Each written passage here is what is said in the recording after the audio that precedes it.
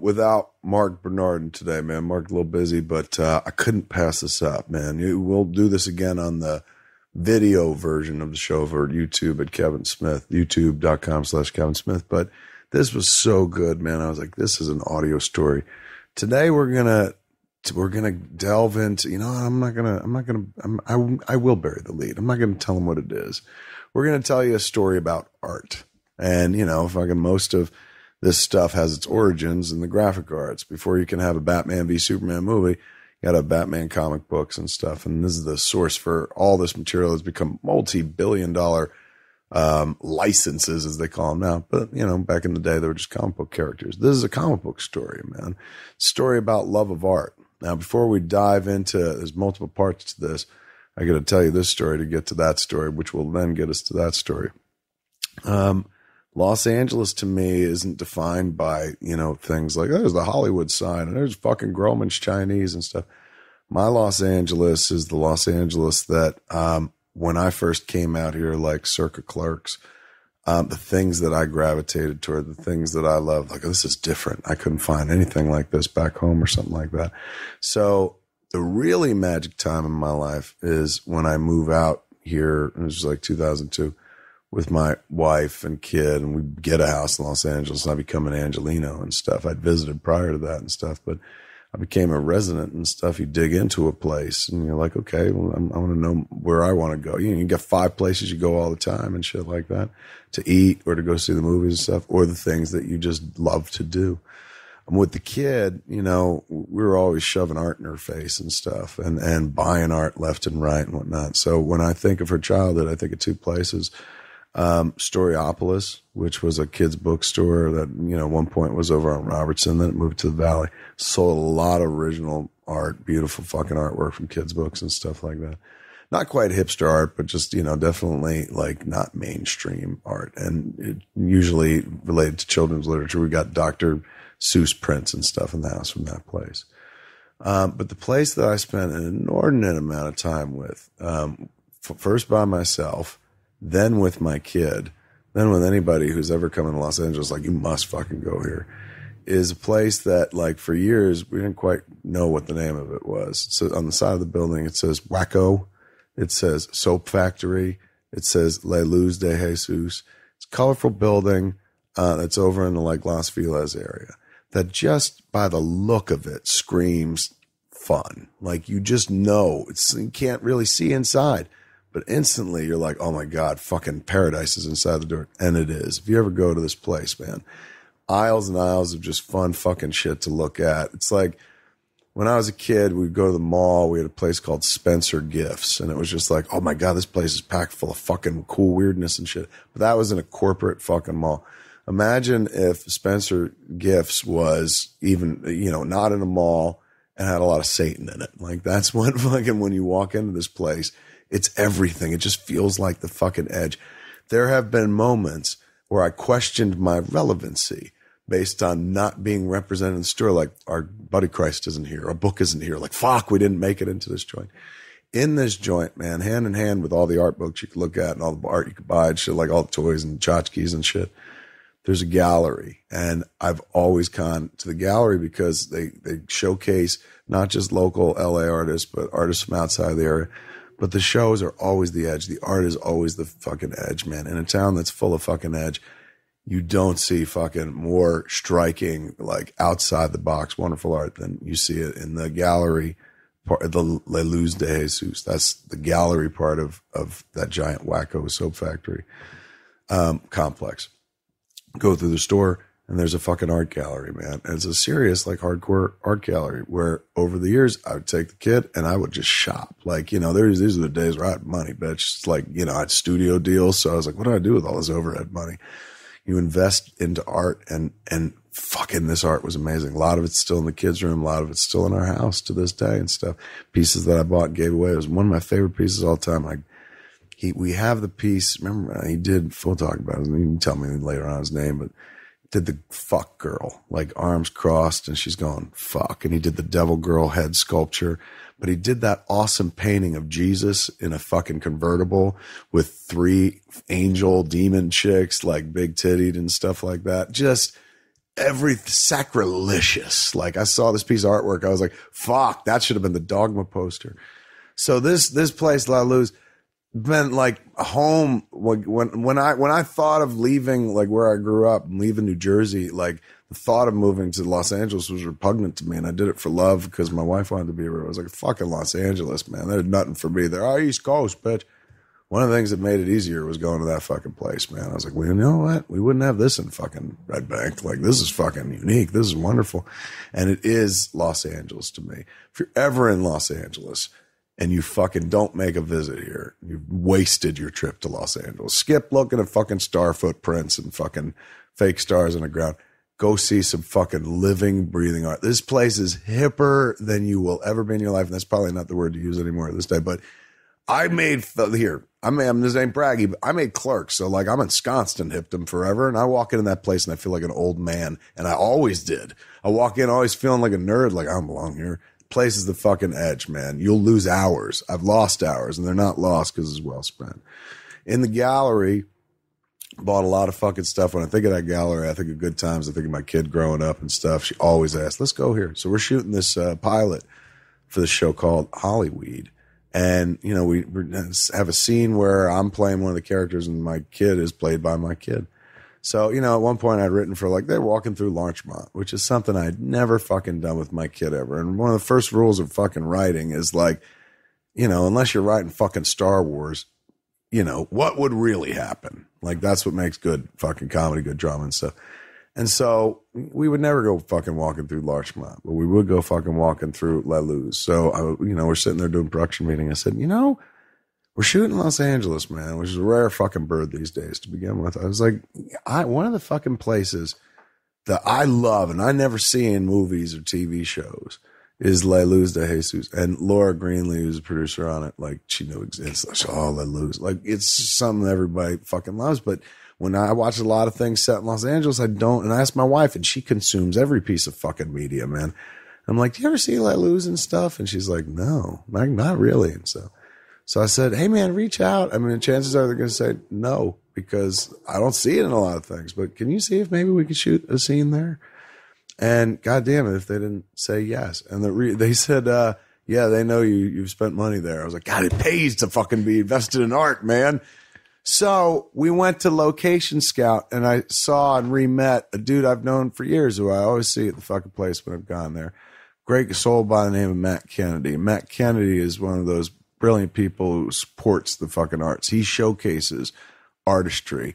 My life has been enriched by the fact that this dude finds blank walls to put up fucking brilliant artwork, man. He's dialed in. Again, I to use the word hip because people are like, that's not a hip word anymore. Whatever the word is, man, the edge, whatever the fuck, he's on it. And, and his fucking place in this, in, in Los Angeles is ensconced forever as a place where you go where that's where art fucking lives and breathes and real art, man. I'm, I'm, you know, like all art's great, but I'm talking about shit like pieces that blow your fucking mind back, but they're also pieces that are themed to like the, our world and the shit we care about. Like it's pop culture art, but not like, you know, fucking here's a soup can, which is also valid. I ain't taking anything away from that, but I'm telling you, like, it's a it's a singular experience. You can go online right now. Where, where's the address? Where could they go? LaLuzDeJesus.com. Go, La, you know, if you can't spell that, shame on you. Four year Spanish students who went to high school. Um, go online and just fucking look, man. Or you just hit Laluz, enter La Luz and do images, man. You'll be shown a world of artwork that'll mind fuck you, man. There are pieces that I've seen. There's a piece that I bought in that fucking store. It hangs at Jay and Silent Bob's Secret Stash. The Alan Moore seance piece. Yeah, yeah. One of the most brilliant fucking pieces of artwork I've ever seen. It's got Alan Moore having a seance with like the Minutemen characters, the Charlton, the, watch, characters. the Charlton yeah, characters, become the Watchmen. And I brought it to Walt Flanagan, speechless. I was just like, "Look, look at this. This is Los Angeles." Like, oh, so fucking beautiful. So I've known Matt for a while. While we were scouting, Matt told me a story that he told me before, and I was like, and I said the same thing I said last time, which is like, God damn it, dude, this needs to be said on Fat Man and Batman. Yeah. It's fucking brilliant. And here we are. So first off, man, tell us a little bit about yourself. How the fuck do you wind up opening that place? Well, um, I came to work for Billy Shire, who's the guy who owns La Luz de Jesus mm. and Soap Plant and Wacko. So you worked at that place? Yeah. At the at the counter? Yeah, I got So you're like there. one of those fucking people that I walk in and be like, black dude's cooler than me. Seriously, like everybody there, like they're not shitty to the people that mm. come in, but there's just to like there's an aura about them. Like, mm. oh my god, these fucking. I mean, I I know it's like weird because like I I'm like I'm Silent Bob, so there should be an aura about me, but. I've been to knee to the fucking clerks at that place. You know, I was a clerk for a long time in my life. Yeah. Nobody ever walked into a quick stop or any store I worked at and was like, this guy's the edge. You know, they were like, this guy's fucking, there's no edge. He's all fucking round curves and shit. You walk into that place and you always feel like, fuck, man, these cats, they know what the time it is, fingers on a pulse and shit. Um, I can't believe you were one of those cats. Dude. Yeah, I mean, I was one of those guys too, like you. That was I was a clerk at a comic shop and a video store. Where? And, um, originally back in um, in Lynn, Massachusetts. Is that where you're born? Yeah, Where is that Yeah. near in relation to Boston? Boston? it's 20 minutes north of Boston, right next to Salem. oh, right on, yeah, man. so you know, in, in junior high school, you know, we'd we'd spend a lot of time at Gallows Hill in, in Salem, where they you know they hung the witches, and it was a really kind of cool metal, metal. Um, how adorable is that? Yeah, so We um, live near witch history. And like, if you like witches in America, there's only really like one place. The capital of witchdom is Salem. and they didn't dial that in until after I left. Like it wasn't until the 1990s that they really figured out, hey, it's Salem, Massachusetts. We should be the Halloween capital of the world. Yeah, we should market to this. Yeah, Let's it took brand. forever. It took uh, um, what was it? You know, seven, 1697 to 1994. but um, yeah, you know, um, I worked at a place called uh, Comics Legends and Where is that? It was in downtown Lynn. Still exists? No, it's gone. But the original owner, Tim Cole, opened up a place called Cole's Comics, and that's still there. And he's kind of like a local legend among, you know, Tom Sniegoski was a kid who started going to that shop, and he became, he's a few years older than me. He was the first guy I knew that wrote comics. Um, Paul Marcure, who was the manager there, and um, Paul Glavin were always working on stuff together. And so there was this whole kind of community of these slightly older guys that were super cool to a guy like me who just like rode into my BMX one day and was like, what is this paradise that I've just walked into? Comics are worth money? What is this? You know? And Had you been a collector or just a reader at that point? I had been a reader. I I don't think you could call me a collector because I wasn't putting stuff in plastic bags at that mm. point.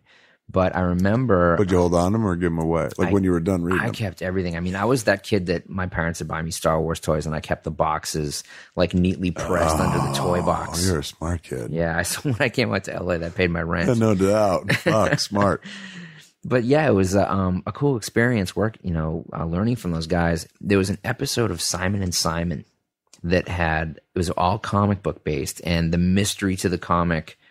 Uh, to this real life murder was solved in a comic book, And this is like circa 1980s. 85 maybe. Or So it's like, yeah. as a comic book fan, like, Yeah. oh my God, they're sh- everybody shut up. They're talking about us. Yeah.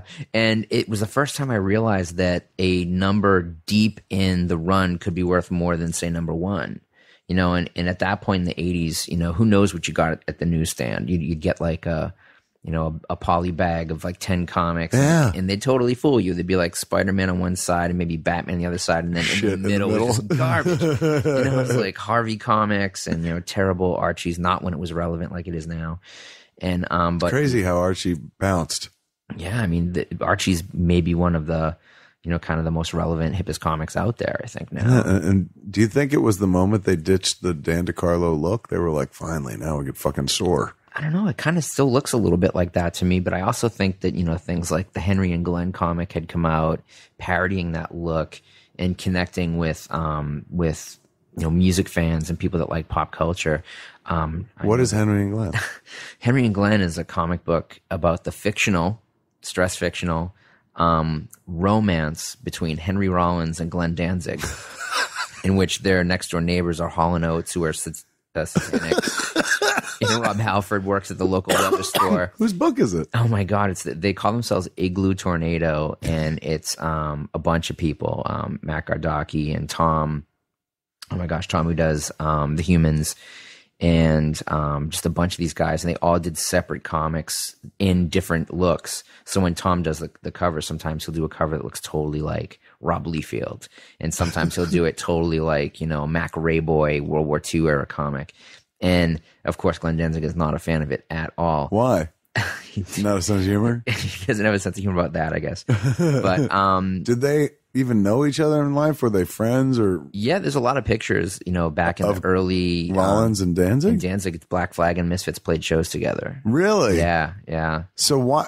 So it's just like this is as random as like I was gonna say an SNL sketch, but it's even fucking more like deep cuts inside. It's, a, obscure. it's abstract, you know, because you've got like these, like the two super macho guys, you know, from rock and roll and heavy metal and punk, and that because it's because they're so clearly not gay, it would be funny, Right. you know that no no no one could ever confuse this for reality type of thing and um and yeah so the, i tom told me a story about being on a plane next to Eerie Von and them hitting it off and then him having to explain that he was the guy behind Who's Eerie Von? from misfits and Oh, really? Yeah. So he had to be like, I was, I did the comic. yeah and then it was like 45 minutes of silence until they land um. All right. So wait. So, uh, Archie, we, we derailed with Archie for for a little bit because yeah. I was like, Archie's relevant, but he is, man. They're trying to make a TV show. They're fucking, see, this is like as you talk about, we talk about comics on the show a lot, Mm-hmm. but as you can hear, fucking Matt is not like, hey man, did you read Flash? Like, Matt knows the shit that you'll discover in ten years and be like, this is a real thing. Like, you see it all, man. I, I I've been really lucky, you know, and I think that you know part of I felt like you felt when you first walked into Wacko, Right. and um, I had just moved out here in like 1990, and From um, Massachusetts? from Did Massachusetts. you go to college? I did a little bit of college, yeah. Where? Uh, Emerson and um, You went to Emerson. I spoke at Emerson once, man. I, I hung out at Emerson a lot. I can't say that really. I walked past it. yeah, and um, I'd gone to Salem State, and then um, decided I was going to try and maybe go to film school, and I came out to LA, and you know, it really I just crashed my car in the snow, and I'm like, I'm done with this. Really? Yeah, but Fuck Massachusetts. yeah, I'm gonna vote for Bill Weldon, leave, you know, type of thing. Like, the hell with them. But um, I came out and we we just couldn't find jobs. My lifetime best friend since kindergarten, and You moved out with your best friend? yeah, Oh my God, you're breaking my heart. What a sweet adventure. Are you still buddies? um, now on Facebook because he moved back pretty soon afterwards. yeah, I'm like, what a sweet adventure. Like, it ended pretty quick. You abandoned me in Los Angeles. no, no, he he actually did really well in music, and um, I started getting much more involved in in art and in the Hollywood kind of aspect. Now, could you film. ever create art yourself? Can you draw? Can you paint? Can you? I'm I'm I've got a lot of ability in a lot of different disciplines, but what I learned early on, and of course I wanted to be a comic book artist when I was younger. It was my dream, you know. And I could copy a lot of stuff, but I was never satisfied with what I did, or I was instantly satisfied. And so there was no growth. Like, look what I've done. I've just drawn the best picture of Oh my God. Bernie Wrightson I think you've Thing. just defined me in a way that nobody else has. I think that's who I am. I'm like, I'm done. This is great. People are like, no, it's not. Keep going. yeah, I'm dropping microphones that aren't plugged in, you know, at the age of 10. and, uh, you know, so I, I, I realized pretty quickly that there were people that were a lot better at this than I was. And, um, and then there was the guys that were a little bit older that were starting to successfully kind of integrate themselves into, into comicdom. And Sniegoski was a huge influence because he was the guy that we knew that made it. And What did he do? What was his first big gig? the first thing he did was like Swords of Sharpei, which was like this independent comic um, about a Sharpei dog that was like a samurai. Right. And then um, he he got a gig with um, I think it was Michael Golden, and he started doing the Punisher when Wrightson was on the Punisher too. Wow. Like he kind of paid his dues and started doing mainstream comics, and then he wrote a series of children's book or, or young adult fiction, which has done pretty well for him. what is it? Um, something he, he did the BPRD with um, Oh, I've seen, I remember that the, the symbol. I've seen that symbol. Yeah, and that was um, out of Hellboy, and he's Yeah, done yeah, some yeah. stuff for that. And I think he did some stuff with um, with Concrete, maybe even too. And so, like a lot of the kind of really great stuff that wasn't exactly mainstream that became mainstream. And he's the nicest guy in the world. And you knew him. Yeah. More importantly, you're like, I knew this human being, Yeah. and now this human being does this thing. yeah, and so Steve Bissette's um, first wife, I think, was from Lynn or from Swampscott or someplace around there. Steve Bissette, for the uneducated, is The guy behind Swamp Thing with Alan Moore, that whole really big creative team. one of my favorite fucking talents on the planet because I love that Alan Moore run of Swamp Thing. Changed my fucking life. Like the way some people are like, the, you know, Catcher in the Rye to find my childhood. That fucking run of comics. Like when I think of comics as the first image comes to mind, oddly enough, not Batman, but Steven Bissette's Alan Moore Swamp Thing. Yeah. Right. Oh. And that guy he he knows something about everything, and he's really versed in in film and in comics history. And as a 12, 13 year old kid, you know, meeting Steve Bissette, it was amazing. And um, you know, Steve Bissette, for those unfamiliar with comics history, drew the anatomy lesson, right? yep, One of the greatest, single greatest fucking comic book magic tricks. Ever. Number one, one of the single pieces greatest of literature ever produced. Magic trick because it rebooted a pretty cool concept into a fucking brilliant concept. Took a monster and turned it into Shakespeare. Yeah. Nuts, crazy good. Um, and redefined comic books. After that, comic books would grow the fuck up in a big bad way, super fast. that's the birth of, of what became Vertigo. yeah, maybe twenty years later. yeah, yeah. and um, he was such a just a really great person. And meeting him, he was the first piece of published comic book art I ever bought, and I worked the whole summer to kind of pay it off. What'd you thing. buy? How much? What was it? First was- off, what was it? Page from what? It was um, an unused cover to Swamp Thing forty, Holy fuck! so it's like the American Gothic with Yeah. the, with the flag in back. That got stolen. Uh, in the early '90s, and I've, I've never come across it, or else I'd have it again. I mean, that's the stabbed the thing. it's like you'd be like, you, you would know who had it. Wait a sec. So, what did a cover cost? What year is this? this is 1985. What a, an unused cover cost in 1985? What I, did you pay I for? think it? was six hundred dollars. Holy, f- that's fucking higher than I would have imagined Yeah. for that period of time. He's like, fuck you. I know I'm good. well, it wasn't from him directly. It was through the shop. Really? So they had probably a little bit built in, but also that the access to shops that weren't like in LA or weren't in New York City to original comic book art was so limited that it just automatically got more expensive in Massachusetts. Good point. Good point. And so you know, he lived in Vermont and he was from Vermont. And, um, you know, he also developed Constantine was a character that really him and Totleben Yeah. had developed outside of Alan Moore a little bit. And you can see stuff that goes back to the work that they did at Scholastic.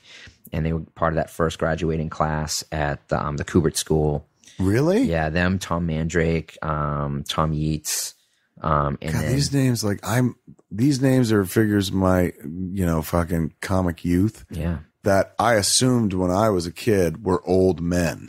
yeah. And apparently they were not. No. Apparently they were fresh out of fucking school. But they had stuff. beards, you know, so they, they also looked older. And you know, I'm the same age as you, so it's like you know, it was it had that impact to me of like, oh my god. And when I met Bill Sienkiewicz, I expected he was going to be like 65. Yeah. And he was this young, like party animal, crazy guy. and we had him in a signing at Comics Legends and Lore or at Corner Bookshop. And What, we- what year is this? this is right during Moon Knight. So like pre Stray Toasters. 83, yeah, oh yeah, it was before Elektra. Assassin. So it's, oh my God, this is deep. Yeah, maybe like right at the beginning of his New Mutants run, Huh. and um, so we talked Phillips Book Shack into um, splitting the bill with us because he was from out of town. So we were like, well, I'll tell you what, you know, if you pay for lodgings and food and stuff, we'll pay to fly him in. And it turned out to be the smartest decision because he turned in like a seven hundred dollar bar bill for uh, for them, It- and not because he was consuming it, but he bought drinks for everybody. Right, right. Very generous, really dude. awesome Can't really guy. do that on the plane. right. Plane fee is what it is. So yeah, having that stuff happen, and then like watching the, the Teenage Mutant Ninja Turtle guys kind of self-publish and explode. And they came out of that area? Yeah, Eastman and Laird were for what? From Massachusetts? I think they were from um, either Connecticut or Rhode Island He built that museum where? in Northampton. Northampton. That was in Massachusetts. That's why I've got the Massachusetts thing in my head. That was uh, Kevin did that. yeah, Um, which was an awesome place. I've been there. Gone now, I believe. I think it's still there. I'm not sure if he has as much involvement behind it. They, I mean, oh, And they've built up like the the Massachusetts MoCA is now in Northampton. It's the largest museum of contemporary art, like area wise in the country. really? Yeah. Wow. Well, fucking that was, and that didn't exist prior? No, and that's like this is very close to the border of New York, so it's past Springfield. It's it's up close to Vermont. It's mm. like it's it's closer, I think, even to New York City than it is to to Boston, and it's very close, you know, to the Buffalo area. But um, so it's really it's not in a metropolis. If if you've ever been to Western Massachusetts, it's it's kind of like Southern Jersey. Yeah, I've been. I've been. Northampton is kind of buried, nestled, and it's Yeah. not like there's a major metropolitan, but it was like a college town. Is there a college there? Amherst is nearby. That's it. I remember it was a big fucking school. Party school of all party schools. Is it really? Yeah. The um. All right. So fuck. You knew famous people. When you were a kid. Yeah. And famous in our world. Like, Yeah. you know, you, you couldn't, you It couldn't had be no like, cachet to get you laid.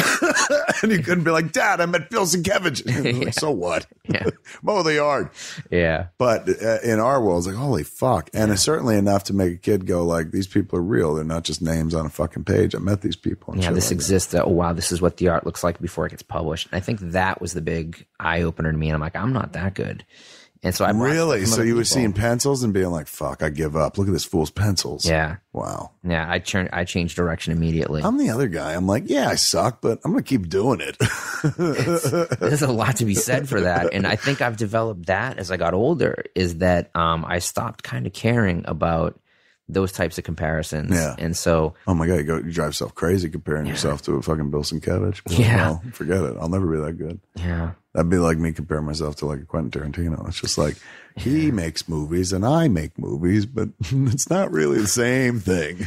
But he's one of us too. You know, it's like when I first came out to LA and I worked at that, I got a comic book shop job because I sold my comic book collection to them Hmm. to move back home. So you sold it. You were like, fuck this. I'm going back. Yeah, like I, I can't find a job. I can't work. And my cousin was, who had been out here at the time, was working at Disney. I think said, "Why don't you get a job at that shop you just sold your collection to?" And so I'm like, "That's a brilliant idea." Totally. And I approached him. I'm like, Can "Do you, manage your collection. you want to price all these? These twenty thousand comics I just sold you." And the guy that owned it was this British guy who was obsessed with the Boston Celtics. And so I went back and I got him. Um, I tracked down the ability for him to get an original Larry Bird jersey, and, and he chose. He opted not to. It was expensive, but he was impressed with my ability to do that. And I became the the card counter guy because a lot of shops at that point Had cards. had cards. And so the people that came in were like, you know, James Earl Jones came in, you know, and this guy. Where you was know, the store? It was on Highland. Now that area is completely gone, but it's called Fantastic Store. And it had this giant paper mache thing from the Fantastic Four that hung over it. And across the street at that What year time- is this? This is early 90s. It's like 90. I mean, it was in existence before I came out here, but it was like 90 to 96 maybe, I think. And then there was a Burger King next door that all got bought up. Across the street was a Holiday Inn that got turned into the Renaissance and then that whole Hollywood and Highland structure. Uh, really? Yeah. But they shot True Romance at that shop. Fuck, I have a vague memory of this fucking place. Black, but the thing. Yes, yes, it was black. Yeah. That's where they shot fucking True Romance. Yeah, it's supposed to be Detroit. I was in that store once. Yeah. Once. Yeah. And I remember going back looking for it years later because when I moved out here, I Mm-hmm. was like, oh, I know where there's another comic store because I knew Meltdown and, Yeah. and uh, Well, Gaston Bill's and I Golden worked Apple. there, and he opened Meltdown. I helped him build the first Meltdown. We were roommates. The fuck? Yeah, Really? yeah. So Gaston was the guy that we became roommates of at, when we first came out to L.A.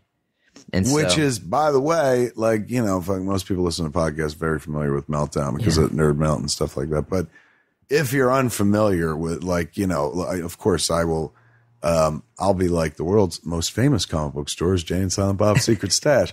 But the world's best comic book store may very well be Meltdown. It is a fucking fabulous store. it's pretty impressive. Uh, like it's beyond just comic books. It is celebrates uh, everything that you love about this genre, but not just fucking like you know superheroes are one part of it, and they don't fucking push them under the rug and shit like some indie stores. They definitely embrace them, but it, they're just like this medium has so much more. And what is it, what's his name? Is it Gaston? Gaston Dominguez. Yeah, he uh you know fucking built a gallery Yeah. I remember early back in the day going in back to Stuart, what's this he's like we're gonna showcase art and i was like that's fucking clever yeah, and i remember hardwick came over when they did nerdist at SModcastle yeah. he was like this is a good idea having your own space to do shows in and he wrote an article somewhere and he was like first thing i did was i went over to gaston and said can we do Nerdist shows here. He's like, I want my own theater, and they built it into fucking The Nerdist Empire. Meltdown. The whole Ner- Nerdist Yeah. Empire begins in the back of fucking Meltdown. Yeah. So um yeah, this store is if you're in Los Angeles, man, fucking it's a fantastic store. I mean, when I was a kid, when I first came out here, Golden Apple was the shit. I saw it on television, bitch. Yeah.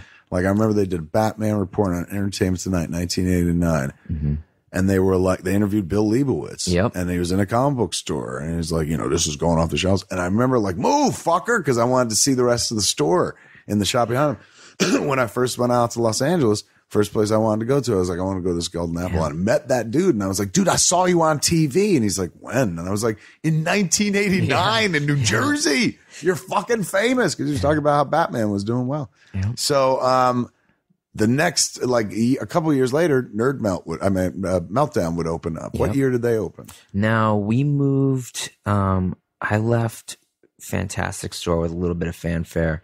Why a Um, little bit of fanfare? The owner left town, and his his wife um, was in charge, and we were all getting paid like five bucks under the table, which was lower than minimum wage, and we all worked ten hours a day, seven days a week. Like it was, um, it I was like they call that slave labor. it was a sweatshop, yeah, pretty much. And it was the Fourth of July, and I was, I wanted to go to a barbecue, and I was like, nobody's coming in. Like, there's nobody coming in the store right now. Can we just close early? And she came back and she started like counting out the register and, and like all this ridiculous stuff. And and started on this this speech like, well, if you don't want to work here, you don't have to work here. And I grabbed the keys and I threw them to the end of the store. I called her a very unkind name, and I walked out. And the um Your your fucking masshole came out. yeah, my still came right. I was like, Fuck sometimes you. the Lynn just comes out. it's like fuck you, and fuck you. But the um, I I quit, and then when the owner of the shop came back, Jago, he actually hired me back immediately. Actually asked me if I would come back to work. right. I was like, yeah, I'll come back, and I, I think that lasted a month. And at that point, um, Gaston was starting to think it was time to open up his own shop. Now, in that time, So he'd frame- worked at Fantastic Shop. Yeah, yeah, he was he was at Fantastic. So he learned how to do retail at somebody else's store, and then he finally moved into. And was and was Meltdown that same location always? No, it was originally across the street next to. I remember that, Yeah. man. Like, yeah, it was and it actually moved two spaces across the street. It started out in this down the thin area next to like this bad Thai place, not Toy, which is great, Right. But this other other place called like Thai Magic or something, and um, and then we we moved it who we just lost as a sponsor. Fuck you. They're out of We're as good as toy. they're, out of, they're out of business. But uh, then he moved down and it, and it got bigger. And then um, they moved into an area, and this is this is kind of ironic and it's it's funny in very black humor kind of way. There was this famous children's um, furniture store called Sid's. Buy your crib at sudden, at sudden infant death syndrome, and it was there forever. And nobody, of course, nobody bought any furniture there, but it is it's huge space. It's too depressing to buy furniture. Change the name. yeah, and it became available, and um, they moved across the street, and um, so I'd helped build out the first meltdown, Hmm. and then um, But always on Sunset, right? yeah, yeah, and I was in that same block, Yeah, always. Yeah. yeah. But I had I had since gotten hired at at Soap Plant and um, was working the counter downstairs. How before- often had you gone there? Was that like just a place you shopped at? I had no idea it existed until I left that job at Fantastic Store. And this dude that lived in the building was like, "Oh, you should check out. You're always talking about art. You should check out this this gallery down on Melrose." And I was like, "What's Melrose?" And um, my whole life was on Hollywood and Sunset Boulevard, Right. and I didn't have a car, so of course, you know, and, and um, like long haired like rocker types, and we were just hanging out the Sunset Strip and stuff. So um, this dude was like, "Yeah, hop in the back of the bike," and you know, I took the the back seat of his bike down in Melrose and walked in this place, and I was like, "Oh my god!" Like every book you'd ever want to buy at that point. And this is before Taschen was like a really big deal. Like I think I found out later that that store sold more Taschen books than anybody worldwide Really? at that point. And then they're like, oh, the gallery's upstairs. And you walk around past the newsstand on the side street on Martel and you go up those stairs. And it was like, you'd smell the incense and you'd see the weird stuff. And then you get to the top of the stairs and there's like a bone case on one side. And there was like this folk art on the other side and these amazing books and these cases with crazy stuff. And then you look forward and there was like obviously an art gallery with all these windows that lined Melrose. And they had a, um, a tarp was up, like halfway up, like a show was coming down. And the girl that was behind the register was actually the very first girl I ever saw with like a complete tattooed sleeve. Oh, like and fucking that would be like Jesus. Look at this freak. Her fucking arms got tattoos all over. It's something you'd see every day now. But at that point, like, girl, yeah. oh my god, it's a circus animal. Look at this. This is But it, it- and a she was, sleeve. Your first sleeve. yeah, and she was totally pierced up. What year? 1990, 91. Yeah, that would be frightening in '91. It was amazing, and and she was so nice, and and and she was like, "Oh, I was like, who's who's showing right now?" And she's like, "Oh, uh, Joe Coleman show's coming down," and I had tried to go to the Joe Coleman show at the Boston Museum of Fine Arts where he went bananas and like was like biting the heads off of mice and exploding and stuff. And the cops got called and there was a warrant written out for his arrest. And my friend Joel and I actually went to it, but we got there late and we only saw the aftermath. and, uh, like everyone's running. What happened? yeah, it's like this must have been great. And um, we missed the greatest thing ever. and so she she's telling she's like, oh, you know, the the, the paintings aren't on the wall right now. They're going to come down, but you can go look. And so I walked behind, literally walked behind the curtain and saw these amazing pieces and you know mind blown. I walked out. She's like, oh, you're going to go to the performance tonight? And I was like, where's that at? She's like, oh, it's down on the um, it's down on the Santa Monica Pier. I'm like, what time's that at? She's like, oh, it's going to be at eight o'clock. I was like, yeah, I think I'm going to go to that. And so um, they were getting ready kind of to close, I think. And I walked downstairs and then I just walked to the bus stop and just took the bus to Santa Monica to go to this thing, not knowing like what was involved. And it was just like this free form performance that he did where he strapped like explosives to his chest. Who? Joe Coleman. Really? Yeah, it was crazy. So the dude that you couldn't see in Massachusetts, did the same exact thing out in public in Santa Monica. and and Billy was there, Billy Shire, who owns the gallery and owns Wacko. And um and I saw him and I saw a few other people and Robert Williams, I think, might have even been there. And um I went the next day back and asked for an employment application. I filled it out at Double Rainbow, which was then on Melrose, this kind of coffee shop ice cream place. so wait, it La Luz and Wacko started on Melrose. Yeah. Actually, um, Wacko, yeah, they actually both started on Melrose in the early 80s. Soap Plant goes back to Echo Park in 1971. So that building that they're in now, which I've they've been in, feels like over twenty years. Since 1995. So twenty years exactly. Yeah. Prior to that, they were elsewhere. Yeah, we're on Melrose. So my version is only the, The version it's ever been. Yeah. Yeah. But you were at OG. Yeah. Holy fuck! Why did they move?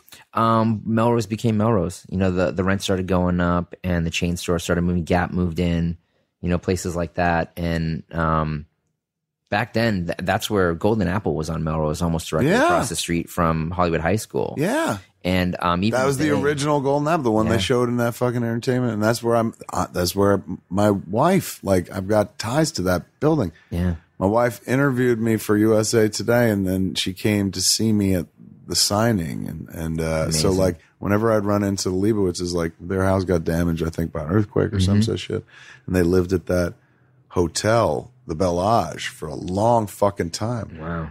Whenever I'd come into town with my, with Jennifer, we'd stay there. Kitty corner from the Viper Room. Yes, Yeah. yes, and you'd always be like, "That's where River Phoenix died," Yeah. you know, uh, you know, legendarily.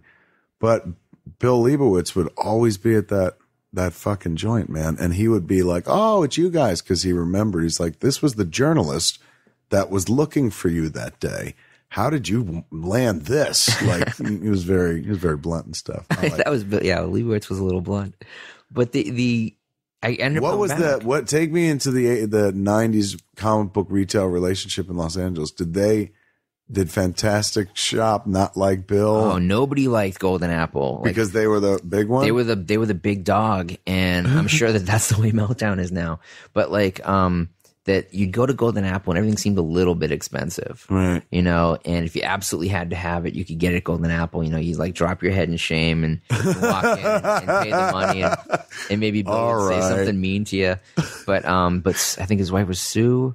Um, I remember she sold um an amazing fantasy for um fifteen dollars amazing fantasy for fifteen for 15 bucks. for fifteen bucks by accident? By accident. Like she didn't see the zeros on the side of it, and the fuck. Yeah, and and he stayed married.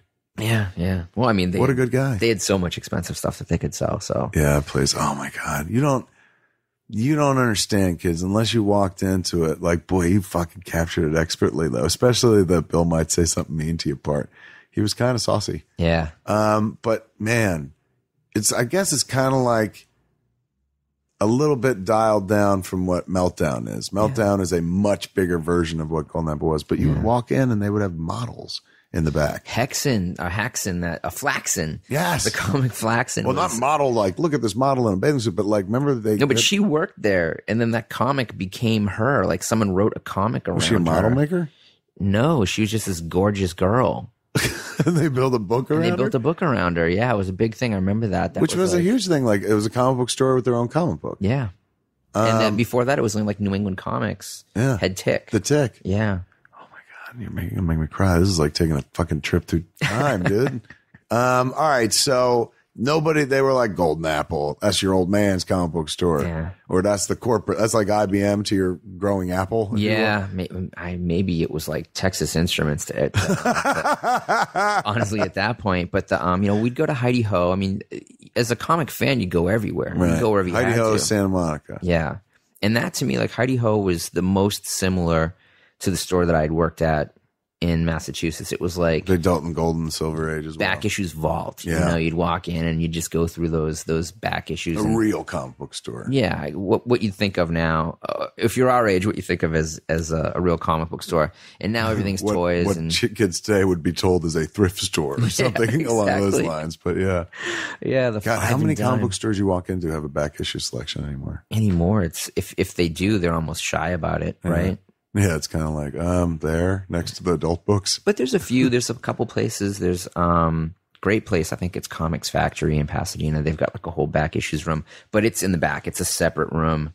And I think everything there is cover price. They've got like a, a kind of cool deal going on. But you know, I, I go whenever I go out of town, and my wife can attest to this that um, I automatically search out the little comic book shops. I have Oh, to. you're a man after my own heart. You know, even if I'm not buying comics anymore, I just have to know that they're there. And and The usually I only problem, the thing I can't do about that though is I, I used to be able to seek it out and then go in and that'd be that. But now it's like if I go in, it's hey, fuck it, it's that guy and Yeah. shit. So you have to gauge whether or not, you know, all right, is this going to be worth it, or you know, it's probably there's nothing going to be there that I can't find in my own store or online. So that spirit of adventure has kind of gone by the wayside. But I still, I, I will still walk into it like a fucking art gallery particularly like if it's a comic book store, art gallery and shit, then you, know, you can do other things. Um, all right. So wait, so you're working, you start working at, at, um, La Luz or you start working for them. Were you there during the move or no? Uh, yeah, up until the move, and actually um, helped dismantle the shop um, when we were getting ready to move out to Silver Lake. And there's a year, or Los Feliz, there's a year that's an overlap where um, we're building up the Los Feliz location, which is in the old Los Feliz um, post office. That's what it is? Yeah, It that's is a it looks like squarish, fucking ugly as fuck building that Yeah. they've made look better with paint. Yeah, but it's got those weird windows and the Yeah. red door, so it looks like something from the 70s. It is kind of industrial and Yeah. kind of governmental. Yeah, you're right. The only thing that you might have ever really seen that storefront in is the Runaways movie because it was the only thing that really looked period. That's it, dude. Yes. just the op- just the outdoors and never inside. And we've allowed certain people to shoot the sign, but um, until you guys requested, we never said yes because it had to be something that we knew was going to fit, and sweet. we didn't want to break the brand, and we like you, and so we, as fuck. And for all we know, pilot didn't go anywhere. so maybe everything's kept intact. right, right. But um, all right, so um, you st- so did you leave at a certain point? I did at um in 1995. I was I was working as a assistant manager of the gallery upstairs, and I covered a shift for somebody downstairs in Soap Plant, and Wacko was then down the street and down this funhouse mirror alleyway, and it was mainly that, vague memories of postcards and like import toys, and um so I was covering register, and Mel Brooks walked in and whipped the door open and just like pointed at me and said him, and I didn't recognize him. And this lady came in and she was like, "Are you free in an hour?" And I was like, "Well, I'm, I'm working." And um, the manager, who who was at this point a, my roommate, walked over and was like, "That was Mel Brooks. You got to go. Like you you have to do this." And I was like, "That was Mel Brooks." She's like, "Yeah." So um, I went down the street and shot this commercial with him for Robin Hood Men in Tights, where he had a bunch of different groups of people, and we were like the rockers right. singing that song as like a weird promo for this terrible movie, You know, arguably the worst Mel Brooks movie. And um, I didn't think anything of it, and it was like, oh, I guess I've done acting now. You know, I'm, I'm in Hollywood. yeah, like this happens to everybody who moves out here. yeah, and so um, I didn't think much of it, and then I went to I was working nights at at um at this nightclub, and um I'd become friends with um, a girl who came in, and and her um her boyfriend at the time was Trent Reznor, and he had just scored Natural Born Killers, which my friend Don Murphy had just produced, and Don used to live upstairs in the um, Fantastic Store comic shop.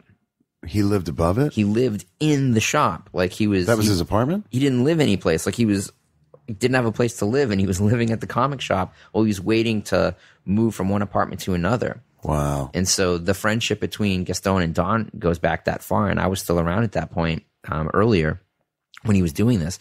And that's how we found out who Quentin Tarantino was. And that's when Fantastic Store became a shooting location for True Romance. And so I, I basically art directed that comic store for that movie. Holy fuck. That's your work, It was dude. my work. And uh, we thought it was going to be all Batman because it was Warner Brothers. And they're like, no, it's, it's got to be all Spider Man. So I went in and changed everything Why? Spider Man. Why was it because of They didn't have the rights, about? I guess. They How weird, yeah. man. But what a good call. You were like, eh, it's Warner Brothers got to be all Batman. Yeah. shit. But uh, so we redid it and it was fine. And, you know, years later, here I am working at, at the, the gallery.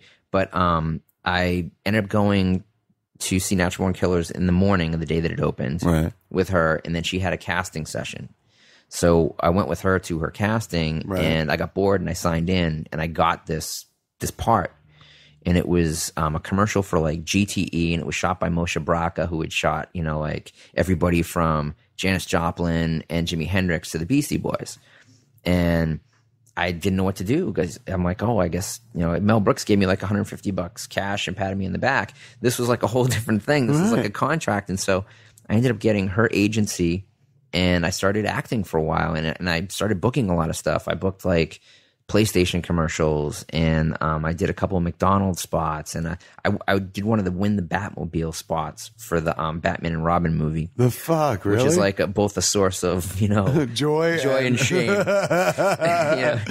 And and it was a pretty lucrative career for a while. I did a cotton commercial for like five years, and I was in the Super Bowl like three years in a row. The whole and you'd never acted before until Never. Mel Brooks was like that guy. Yeah. Did you ever encounter him after that? no, no, never. How fucking batshit crazy! Like you're one of the few people in the world who could be like, maybe you and Cloris Leachman could be like, Mel Brooks changed my life. Yeah, yeah. And it, it was just amazing. And then I, I didn't really love acting. I wasn't like a huge fan of it. I loved movies. Right. and I hated going to casting calls because I I don't look like Brad Pitt and I'm not a tall guy and um in those days if you were lucky you'd be in a room full of people that were like cool to you Right. and so you'd go on spots sometimes for like Carl's Jr. You look around the room and it would be Tobey Maguire it would be um The fuck, really? yeah Jake Gyllenhaal you know like or young Jake Gyllenhaal Right. and we'd be sitting around and not, not, actors not Tobey Maguire and Jake Gyllenhaal now, kids. yeah yeah They're like, oh shit, is it that bad? yeah it's like 90, he should have stayed 95. on Spider Man. So this is not this is back in the day. yeah Wow. and these guys were cool guys and you talk to them and, and you get used to seeing each other and you'd realize oh well this person's good at this and this person's good at that and i could book commercials and those guys couldn't they could book movies Right. and um, like indie stuff at the time and i think um, toby booked joyride i think at that point and i remember um, billy um, golly the dude from almost famous and i almost got cast in that and i almost i i, I read for i think five or six callbacks on american history x Really? yeah, and I mean that went on for a long time, and then they, they were building pilots around me, and I was doing stuff with Troma. It was like this really weird stuff, but I'm this guy that no one knows, that no one's heard of because none of this stuff reached. You know, it's like wild, man. five pilots that went nowhere, and um, But you get paid for all that shit, right? um, not at Viacom. Really? Yeah, Viacom was non-union, so anything that happened at MTV Networks just went away. Oh, yeah. So you, I wasted like nine months on a Viacom pilot, and after that, I'm like, I'm done acting. And but I did a lot of rewriting in that, so I became kind of like a, a script mechanic for a little bit. And friends of mine that were writers would be like, I've got too much work, but you know, writers don't want to turn anything down because you just never know if you're never going to work again. True. So I'd have friends that were I felt it was like the front, you know, it's like the So you were ghosting shit I was ghosting for them. for them, yeah. And um, I'd, I'd do a little. what did you want to do when you were in high school? I wanted to draw comic books, really. I Look how far it took you so know. far. We're not even to the fucking meat, kids. I know, right? What we want to talk about, but keep going. Yeah, so it was all this this kind of traction was happening at the time and it was just I didn't know where it was going to go. And I think if I'd been a little bit more savvy about the way that things work, I might have done things a little bit differently, but I'm kind of happy with with everything as it went then. I'm very happy with the way that it's turned out now. You did a bunch of shit you never imagined you were going to do, Yeah. and, and then fucking like, I feel you're like that was an adventure. I feel like a, a you know like the nerd Forrest Gump. You know, Kind of, man. that I just kind of walked into these situations like I, I was at the forefront of the goth industrial scene at Helter Skelter and Control Factory in the early '90s. really? Yeah, that's the nightclub I worked at, and that club The one you mentioned before, you're like, I worked in a nightclub. Yeah, and Club Flex, which was the Tuesday night rap reggae club, is where Eminem took a bus from Detroit to participate in like a rap battle. the fuck, really? Yeah. And we just remember there was a white guy on stage rapping at this at this rap reggae club where you could totally count on one hand The amount of people that were white people. that were white people in that club and, and four of them were behind the you bar. were like, it was me and Eminem.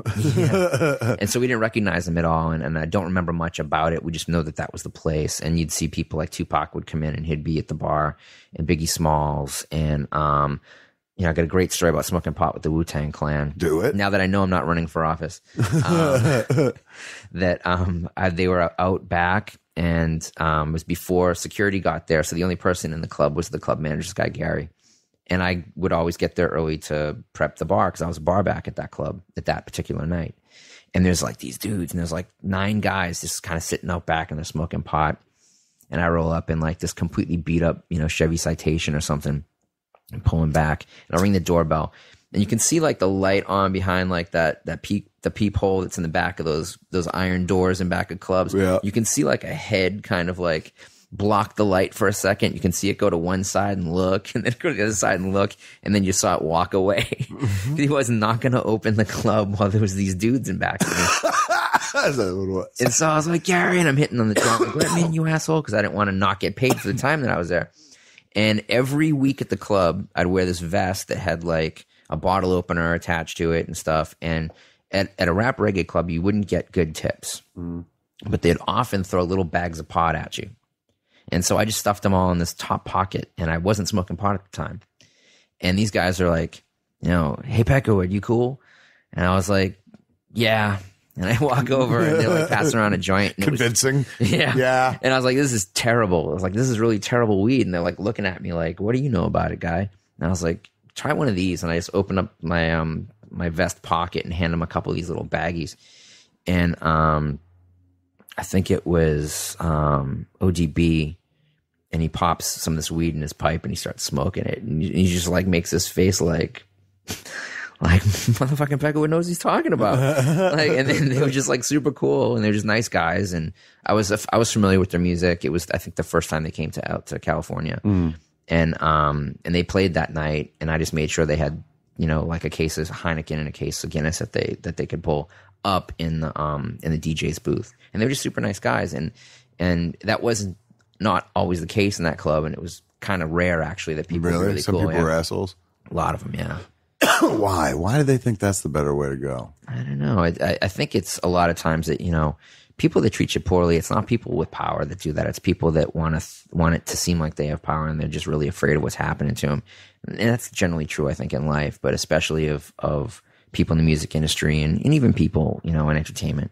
That most people are pretty damn cool. Yeah. It's some people have a much more common touch, or you just have more in common with them, mm. and you can meet anybody on a bad day. That's true. You know? fucking god damn it. Look at you. Fucking what what a great way to fucking look at it, man. no wonder you are the Forrest Gump of fucking Right, right. shit.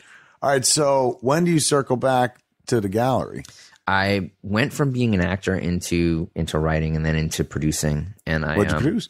I I bought DVD titles. So I, I if you you know Pinky Violence, you know like the Japanese movies. Yeah, yeah. That was me. I'm the guy that brought those films to the U.S. Really? So I ran Panic House. That was my company, and I brought like all the Pinky Violence. How many fucking lives have you I lived, know, man? it's Jesus weird. Christ. I just, you know, I'd, I'd, I'd hit a new thing and I, I'm, I'm one of these guys that I, if I find out about something that I like, I go all the way into it, Yeah. you know, That's and- like me. I, that's the way I'm like, oh, I like this. yeah, I become like, you know, a reverse engineer of, of this. And if it's coolness, I'm like, I'm reverse engineering something cool and, and getting really into the nitty gritty of it. And with the, with the Japanese films, my friend Christy had a bunch of these videotapes.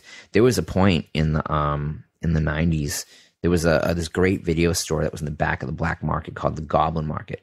Where was it? It was on Melrose, like real, like close to Winchell's Donuts, like almost at um at La Brea. No, at yeah, at La Brea.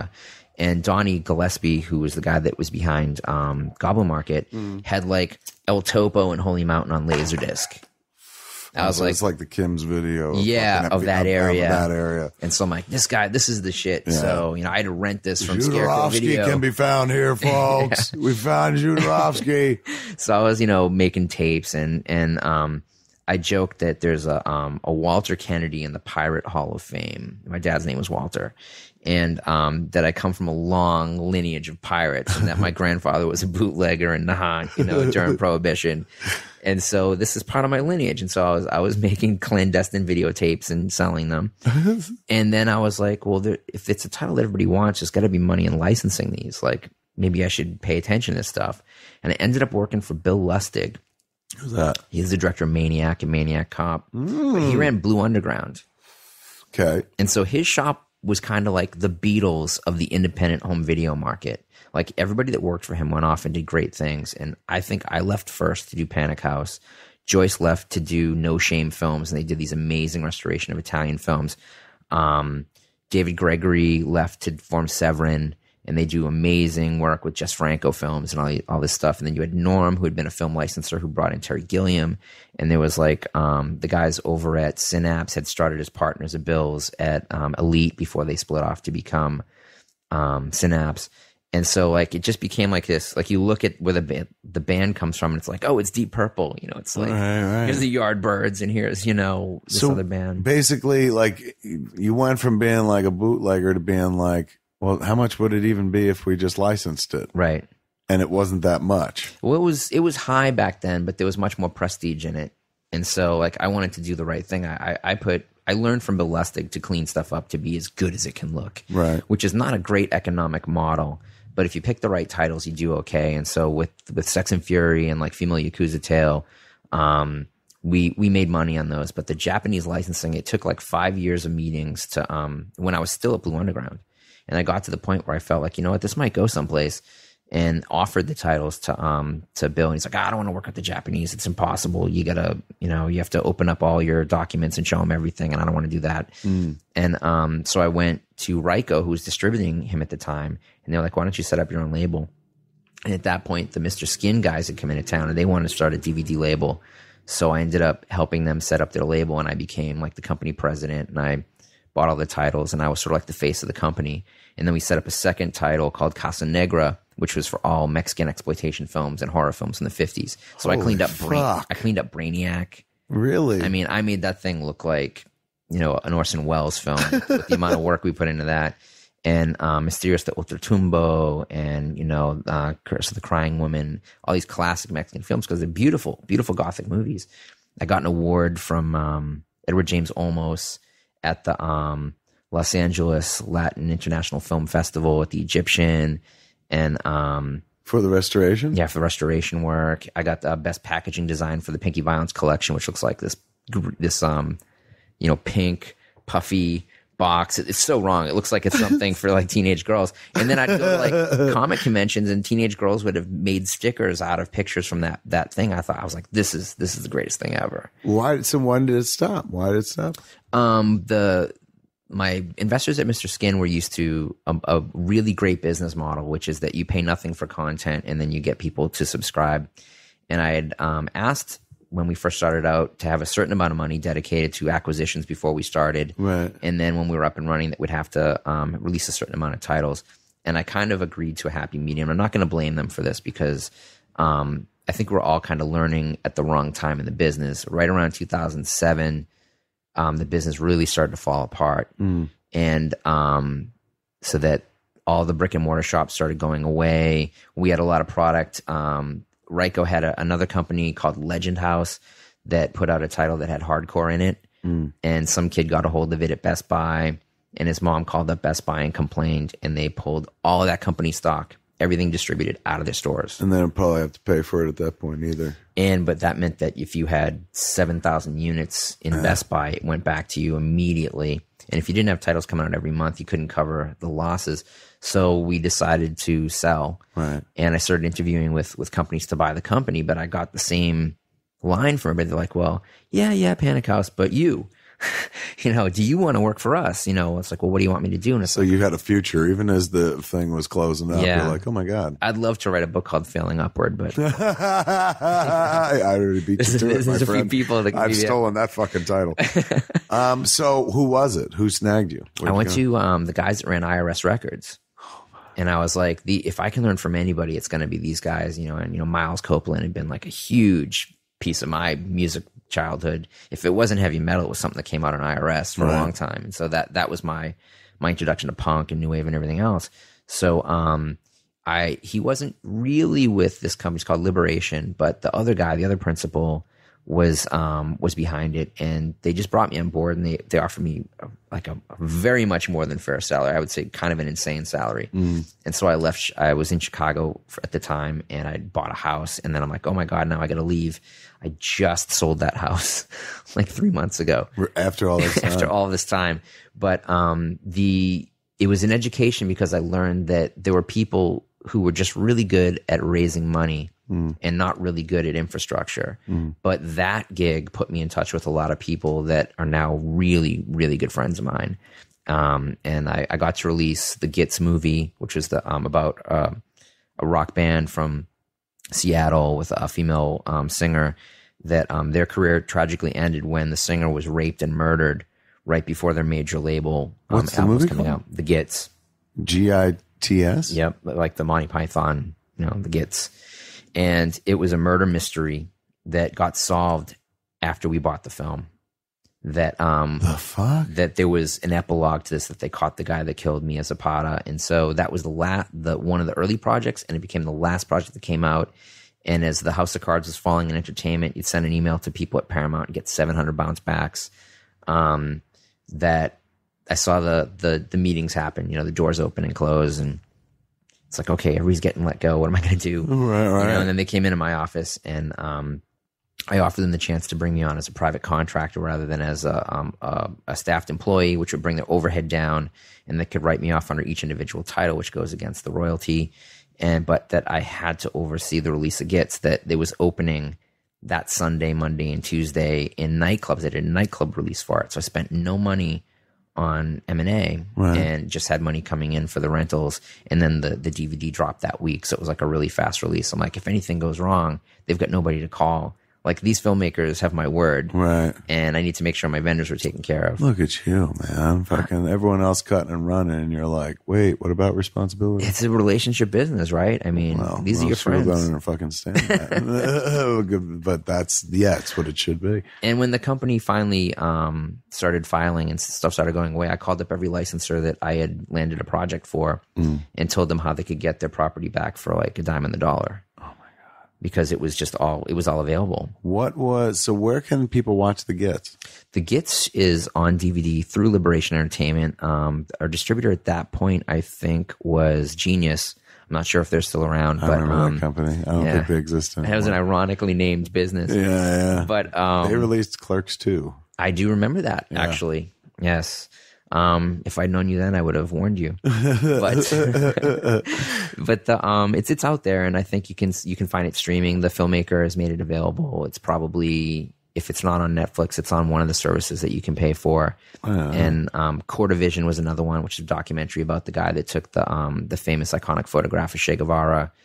And that filmmaker, um, Hector Cruz Sandoval, is one of my absolute best friends. So that that experience of being at that company um, landed for me in terms of you know human currency, like something I could never pay back. And so I loved I loved the fact that I had that opportunity.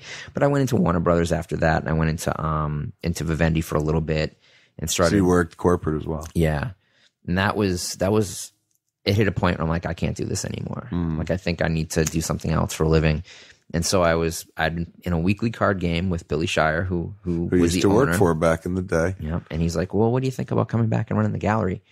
I was like, Well, what kind of what kind of hours is it? You know, what do you need? I was like, Oh, you know, 20, 24 hours. I was like, that sounds like something I can do. Didn't realize he meant a day. You know, I thought he meant a week. but um, those first couple of years was a lot of kind of getting things into into order, and there was shows that were already booked, so I didn't have much say in, in the first year. And then I was like, just give me two shows a year, and I'll be happy. And by year three, I think it was the opposite. That um, there were a couple of shows that he was insisting upon. I was booking everything else, and so I I went headlong back into 2009, 10, and by 2011, when we did the anniversary show and did the book for that, the 25th anniversary of the gallery at that point, Big show. yeah, You two- can see pictures of it online. Amazing fucking pieces and stuff. That's a mind blowing show. Yeah. And that was also the same year that I decided to publish the the pop sequentialism book. Mm-hmm. I'm like, I've been collecting comic book art since I was 12. Um, I have I've amassed a pretty important collection of first appearances of certain characters. For me, it was the collaborations. It's like the writer artist thing Mm. was more important to me than having the first appearance of a famous character. Right. And with comic art, there's only one. I'm like, let's do a show about that elevates comic art in the eyes of my fine art collectors. Hmm. This is the gallery that showcased Robert Williams. He was in comics. We did the Zap 13 show, but there didn't seem to be any anybody working to do that for superhero comics. Right. And so that became like kind of my driving force. And I did something which I recommend nobody do, which is I purchased all the pieces for that show because that's the only way you can do a show like that Why? Because artists let the stuff go the second it gets published. Oh, that's right. So it's not you can't go to them and be like, "Hey, can I borrow that piece?" They're like, "I don't have it. I sold it years ago." And it's a sales gallery. So, you know, it's not just a museum where people walk in and they see stuff. I wanted it to be available. And um, I kind of tried to do a little bit of research to see if anybody had done it, and it hadn't been done. No one had done an exhibition of modern comic art that wasn't that was a survey show that wasn't like just one comic, one issue. And I had, I had to get in contact with everybody to do it to get permission to reprint. And Really? Yeah. And when when I started writing, because for comics and for comic art, it's so much different than your standard painting. Like I can put up a website and we can have a grid of three, you know, by however many rows, and it's just got the artist name, the title, the medium, the size, maybe the size and frame, hmm. and the price. And that's really all you need to tell people. And then above it is a little a little description, a bio about the artist, and um, a little bit of information about the body work Right. with comics, it's that for everything. It's all that top stuff Right. and all that info. So it's like, why is it important that this is a collaboration between, you know, Garth Ennis and Steve Dillon? You know, why is this page which has no characters on it, but it just has a sword important? So, well, this is actually the origin of Lucifer. You know, this is a very important page, you know, and as, as you look through the, um, the catalog, I realized at a certain point that I had written a book and that I was not going to just have this be something that was going to sit on a server that I was going to publish it. And I'm like, I could do an 80 page giant. Ah, that's why it looks like that. Yeah, and it, it's it, I did with uh, comic book cover stock. I didn't I didn't do like a book, Right. and it looks like an 80 page giant. It's got the um you know the Watchmen piece as the cover, which is the only color piece that was in the show. Yeah. because it was the only one that anybody would be able to afford at that point. As a, a color separation page, and I felt that that was also a part of the process, but that everything else was the original art, and you'd, you'd see it age. You'd see like I started as that focal point, the Watchmen, and I moved forward to like Walking Dead, mm. and and capturing her- heroism in comics. So it had to be about the heroism that could fit in your superhero comics, but also some of that Vertigo stuff. Right. And so I'd I'd kept pieces I bought in the early '90s. Gaston and I were buying pieces with um, Glenn Danzig, and we were selling um, comic pages one one at a You time. would co-own the pages. yeah, Oh my god! Like when, when Bart Milhouse co-owned the comic book. it's kind of like that. Yeah, Treehouse. Yeah, we bought cover to cover. Lobo's back number number one, I think, and number two, and then we bought cover. to Bisley? cover. Yeah, we owned every piece. The three of us. And were they all painted? Those pieces? No, They were all pencils. yeah, those are all pencils. What did that cost? Um, who? Let me think. I I think it was twenty four hundred bucks For the whole book. for the whole book. and it took three of you to in- invest the money. Well, Danzig was wanted the cover, and he didn't really want to have to bother with selling the stuff that he didn't want. right. So he would get the covers, and Gaston and I would split the pages. And so we would just line up how many splash pages and how many sequence pages, and we just we just split it. And we found people that would buy want to buy most of it anyways. Our biggest clientele were the Holland brothers, Eddie and Ernie Holland, who wrote like every Motown hit with um, Dozier. Really? Their office was right down the street on Highland from Fantastic Store, and they bought they bought like the only Faust pages that ever hit the market at that point. Really? Yeah, and they bought like the cover of um, Green Lantern number fifty-eight. You know, the, the Guy Wait, Gardner cover. Faust, like Tim Vigil. Tim Vigil's Faust. Yeah, Hold on, I got to unpack this a little bit. Not a lot of artwork ever hit the world. Not Why? then. He Is there a reason? He kept all of it. he just didn't sell it. Yeah. But he did give pages to his inker. Okay, but then number two, these guys that wrote what Motown hits Like everything. wanted fucking Tim Vigil Faust artwork. We brought them from buying sports cards into buying comic book original original art.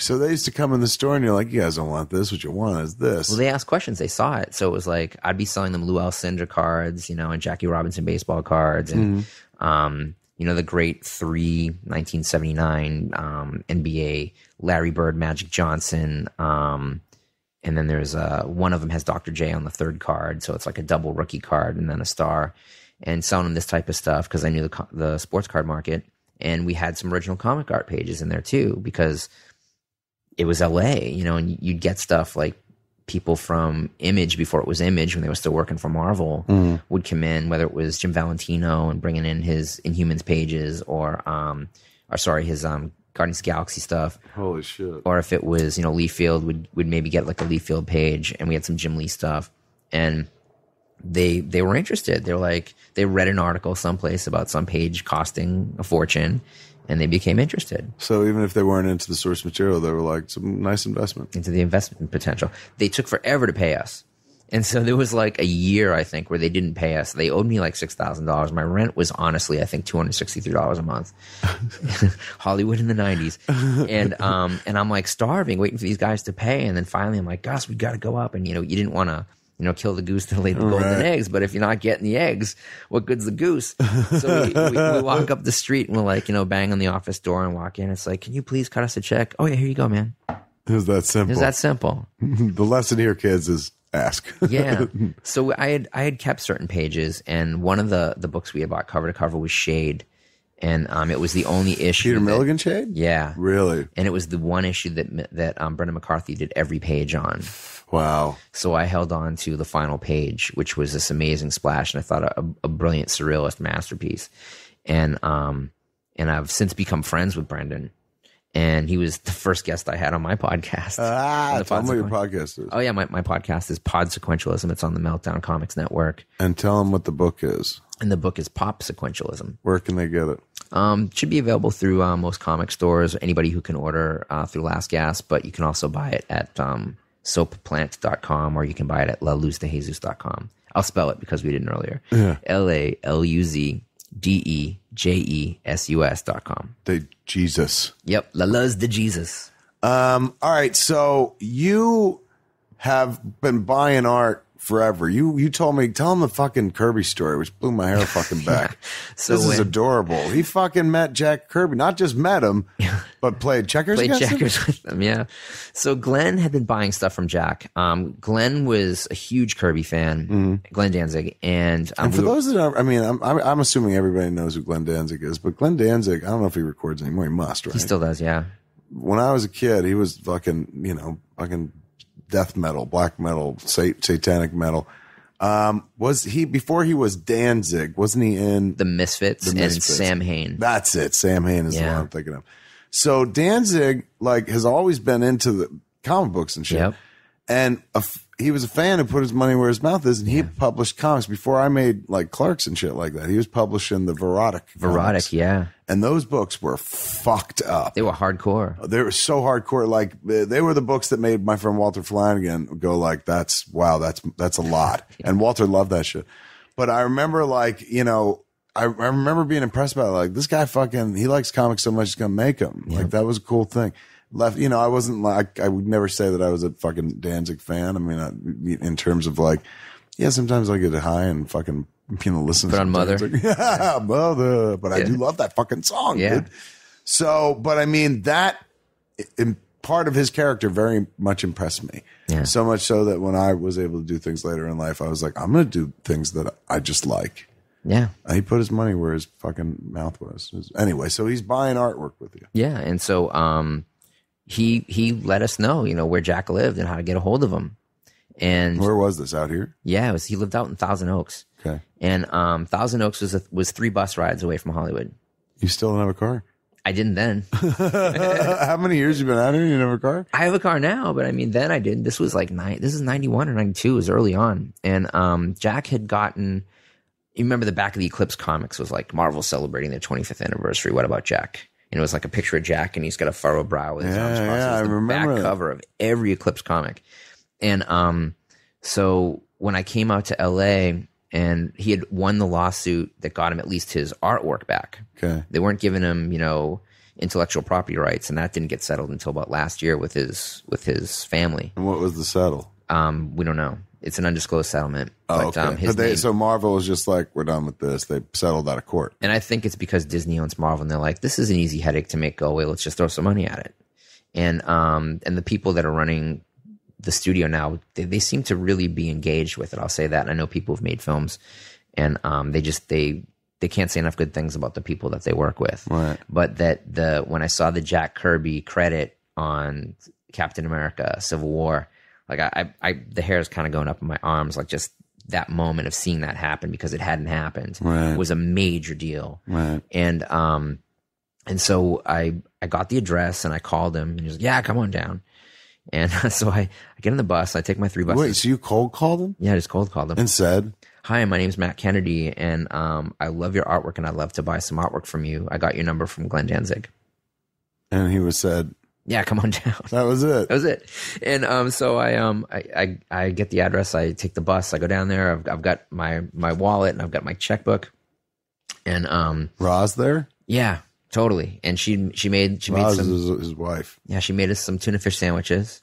And I I, I have a clear memory of drinking Kool Aid. Really? But I'm I'm not sure if I've somehow filled that in through another weird experience I had Right. someplace else. Just flavored the story, Yeah. colored the story a little bit. It seems like it was Kool Aid. It might have been iced tea. but um, so um, I'm in there, and, and his office was like there was piles Hmm. of comic book pages, like just piles of stuff, and he had All his? obviously all his stuff. Now he had gotten these back in the lawsuit. Yeah, So this was all had it just been sitting in Marvel all that time? yeah. There was a storage facility that um, most of the stuff came from, I think. But there was also in the Marvel offices there were these file cabinets that were just filled with original artwork. And um, th- there's also he said that they kept a lot of stuff. That there was a lot of stuff that wasn't in there. Um, So it had just come back to him? Yeah. Like that was the thing that he had sued for. He's like, well, if, if I can't sue for this, I can at least sue for, you know, you, I can sell these pages and you, you're holding on to it and it's mine. And that was never part of the agreement. And uh, the court found for him and they, they had to send it all back, but it took years for them to actually send everything back. And so he's now in a room. Um, the room was not unlike this room as far as size. And he had his table set up. He was still drawing. And um, I think Art Thibodeau What was he drawing? he did stuff with Art Thibodeau. He did um, some of these independent kind of superhero comics. Very much, um, Was he a commission guy? Like, could you hire him to be like, "Hey, man, can you draw?" Like, I'm sure. really? Yeah, I'm sure. And um, you could, you, he was still drawing stuff, and he had something on on the easel at that point, and it was a fantasy thing. It, it looked kind of like the Eternals, but it wasn't the Eternals. And um, among these stacks, okay, Kennedy, what do you like? What do you like? He's like, uh, I I said, uh, Thor. Can't have Thor. Tell you what, how about this beautiful Captain America? And he just pulls. It was, like I don't know where he, he got it from, and it was a different size than everything else. It wasn't like standard comic book size. He pulls out this huge piece of illustration board, and it's the centerfold of Captain America 1976 Marvel Treasury Edition Bicentennial. And it's got Cap, you know, and it's got every character in the Captain America universe on it. It's huge. So a billion dollar piece. These days, who knows what it would be? But um, he's like, I'll tell you what. He's like, let's play a game of checkers. He's like, if you win, it's three hundred dollars, and if I win, it's four hundred dollars for the page. for the page. And I was like, sure, yeah, why not? and he the would- story alone. Yeah, and he he would- he cheated. Like there was like there'd be like a noise outside. I turn my head, and his his hands were on the board, and he's like moving stuff around. I just look, and he just it just like Lean arms back, folded, arms lean folded. back, like like it's your move, kid. It's your move. And I'm just kind of like, I'm not going to call Jack Kirby on cheating at checkers. this is this is not my life's work that I want. So he won, and but he still honored, I think, the lower price, if I recall. And and I wrote, he let me write him a check, which I, I was surprised at And that was you bought one piece. That piece. that that day I bought that one piece, and um, which I then had to take on the bus and then take all the way back. And so I'm a kid holding this Jack Kirby page, this giant Jack Kirby page on the bus back to Hollywood, and and, and I guess I got lucky that it wasn't a totally packed bus, and I was sitting in the back, just kind of holding this, and people would kind of like look at it, but they didn't really say much. And someone came over and sat down. It was like this, this kind of um, this kind of rough gangbang looking dude. He kind of sits down. He's got you know his collar buttoned up, but like nothing below the second button's done. Right. the hair and, and the hairnet and everything. He was like, "Is that Captain America, Holmes?" I was like, "Yeah." He's like, "That's pretty fucking cool." It's great unifiers, comic books, man. There's know? no, it's not like, it's not rocket science that comic book movies are making as much money because they draw from a deep pool, goes across all genders, all races. For Yeah. some reason, these characters, they've been around longer than some of us, in fact, most of us. And so we came into a world with these characters. And, I, you know, I, it doesn't matter, man. Like, I've met, like, I, every year I go to San Diego, dude, like, there is a crazy passionate contingency that comes up from Mexico. Mhm. Just Latin fucking comic book fans that are like, and you're like, really, Captain America? Yeah. Like, what would be in it for you? But they're like, who gives a fuck? Like, I've read this character my whole fucking life. It And transcends race. it could be that it epitomizes the American dream Think so? Is And that maybe. simple? And But I can't see it because I'm dopey American and shit. it could be, but I think that there's also, you know, th- there's the Joseph Campbell aspect of it, that it's the hero's journey, and that that's what makes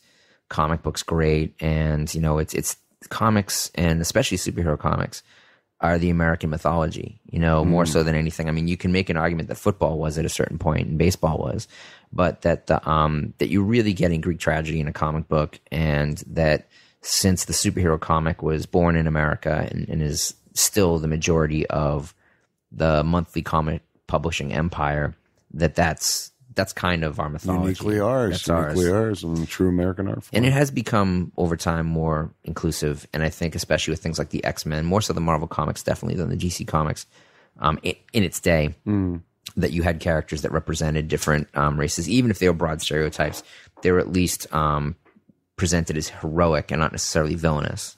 Right. You know, it's not the Captain America of World War II, which would have you know the just the the really insulting, stereotypical, really bad Asian stereotypes, and some you know. While I love Will Eisner, I mean, you can't really get past. You know, his sidekick was practically um, a gollywog, and you know, it was like really. You look at it now, you're like, wow, It's a tough read. yeah, it is a tough read. Brilliantly composed, but I mean, it's it's a product of its era and its time. But um, you know, having that access to him, and you know, I kind of made it my a point of of my existence to reach out to some of these older people that um that not everybody was aware of because I'm like the time is limited and, and I'm not going to be okay if I don't get to meet this person. Who else? A.E. Van Vogt was like a big hero of mine, Arthur E. Van Vogt, and he had um he's been writing for so long that he wrote a World War II that takes place in space in the 1920s, but he was a huge influence Holy on shit. yeah, original. Wow, really? so meaning like he wrote about World War II before World War II happened. Yeah. And, and then when World War II happened, he's like, well, mine was way better. Yeah, it took dude. place in space. You guys get those spaceships, but um, they're no Martians. But the um, he was a huge influence on Philip K. Dick, who I was a, a tremendous fan of, and he was at this paperback book show out in Northridge. And I just walked up to him, and I had a stack of original paper books to have him sign. And uh, I just struck up a conversation, and I asked him because I was starting to get interested in licensing at this point. If anybody had licensed his work, and he's like, "Oh, we had a guy that came by the house ten years ago." I was like, "Well, let me see if I can place anything." and just started a conversation with them. Turned out that they lived not too far from me. They lived up like Bronson Canyon, and that they had known um, Jack Parsons and L. Ron Hubbard. Jack Parsons, for those that don't know, is the he's the rocket scientist Satanist, right? Yes, yes, he was um, a student of Aleister Crowley's. Um, Like hardcore, Yeah. like fucking dark arts. and had the highest clearance in the U.S. government and helped develop the the missile program. And he blew up in a mysterious explosion in Pasadena, um, over an area that is now the um, the the 134 freeway, the 210 freeway.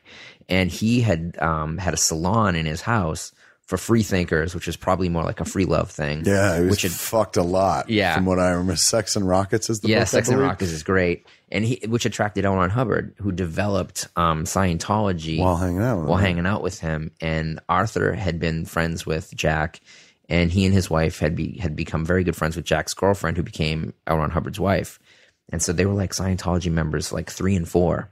Oh my had all this original stuff. They had old e meters, and you know Marston, the guy who had, um, I think it was the guy who developed Wonder Woman. Yeah. he invented the lie detector test. Yes, he yeah, he wasn't a fucking No, but he sold that patent to L. Ron Hubbard for the e meter. the fuck out of here. Really? Yeah, There's a missing piece of comics history I didn't Yeah. know. William Marshall Malston, whatever Yeah, you yeah. pronounce his name. The guy who was also way deep into bondage and fucking and pansexual relationships before we had a term for it, if I remember correctly. Um, he, well, I knew that he invented the the the lie detector. lie detector, but he sold it. He sold a patent to L. Ron Hubbard for the e meter. But it doesn't uh, A work. very similar device. But does it?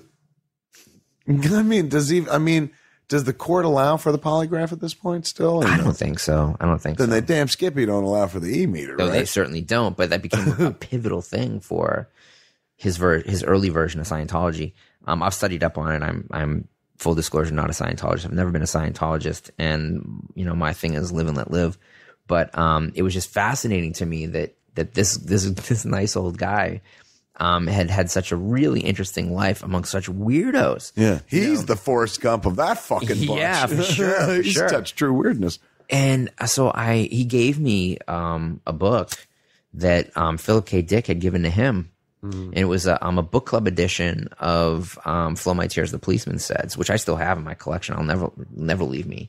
Philip Dick actually held it. He gave it to this guy. This guy gave it to you.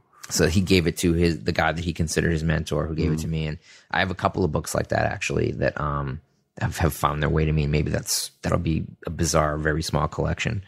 But um, you know that he was another guy that I just I got into contact with and and started to like talk to. And after he died, um, I got a call asking if um if I knew where to help market some of the stuff in his collection. And someone came in and, and they they handled a lot of it, and it was mainly auction items. I mean, it was stuff that if you're of a certain mind, that's like gold. And um and so it was I kind of lost contact, but then it, it just became like at that point I was working for Billy, Billy Shire, and I was at the gallery and it was just contact with this whole other group of kids. And it was like seeing Coop is the guy you were talking about. It did like the Devil Girls and the Jesus driving the car and everything. No, it's not. Coop is the guy. Is it Coop? Yeah. The Devil Girls and Not the Devil Girls. I'm sorry. Yeah, there is a. I'll show you a oh. Glenn Barr has the Jesus. Glenn Barr. Yeah. That's who it is. Yeah. Fucking. That's the Jesus piece. I'm. The I'm Jesus of thinking Forty about. Street is the name of that painting. Yeah. of the of the He gets out of a Jesus- limo, yeah. I wanted to buy that piece. It was, it was red tagged, and then they did.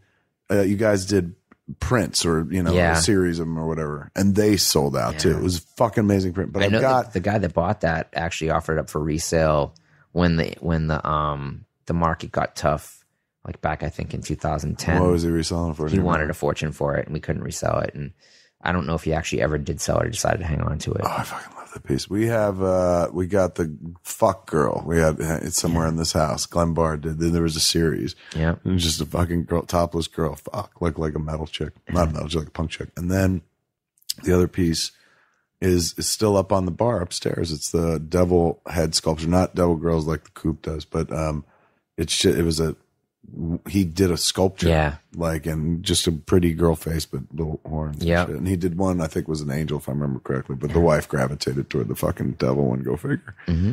But oh, Glenn Barr, that's a name. something else you have in common with other comic book fan James Gunn because um there was a piece that I thought was perfect for his place. Right. And I'm James like- Gunn for the come on, I don't have to explain who James Gunn is. If you don't Guardians of know, the Galaxy, come yeah. on, kids. Guardians of the Galaxy director. Amongst many other cool Super, great film. Yeah, yeah, yeah. And um And that Slither. I love Slither's great. A fun movie. Man. And he goes what I dug about Gunn is he goes deep cuts. He goes back to Troma. yeah, which is where I first came into contact The with him. fuck? You knew him when he was a Troma too? I so you handle- knew Lloyd and I handled the marketing for that movie for Tromeo and Juliet. Really? Yeah, I did all the guerrilla marketing for that in LA. I got that. I got Troma films from being films that were only midnight movies back into their only day bookings that they had had since Class of Nuke 'Em High. The fuck? Because I worked at that nightclub. Yeah. I grabbed those terrible, stinky um, air fresheners and the posters and postered every single club every night of the week for three weeks in the in the LA club show circuit, and people just turned out for the movie. The fuck, really? Yeah. So for Lloyd, he was like, ah, I love that Kennedy kid, you know, and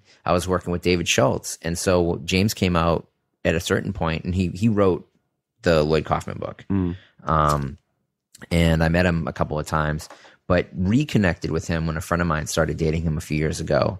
And it was like, oh yeah, I was like, you know, I was I was the guy that that kind of launched that movie.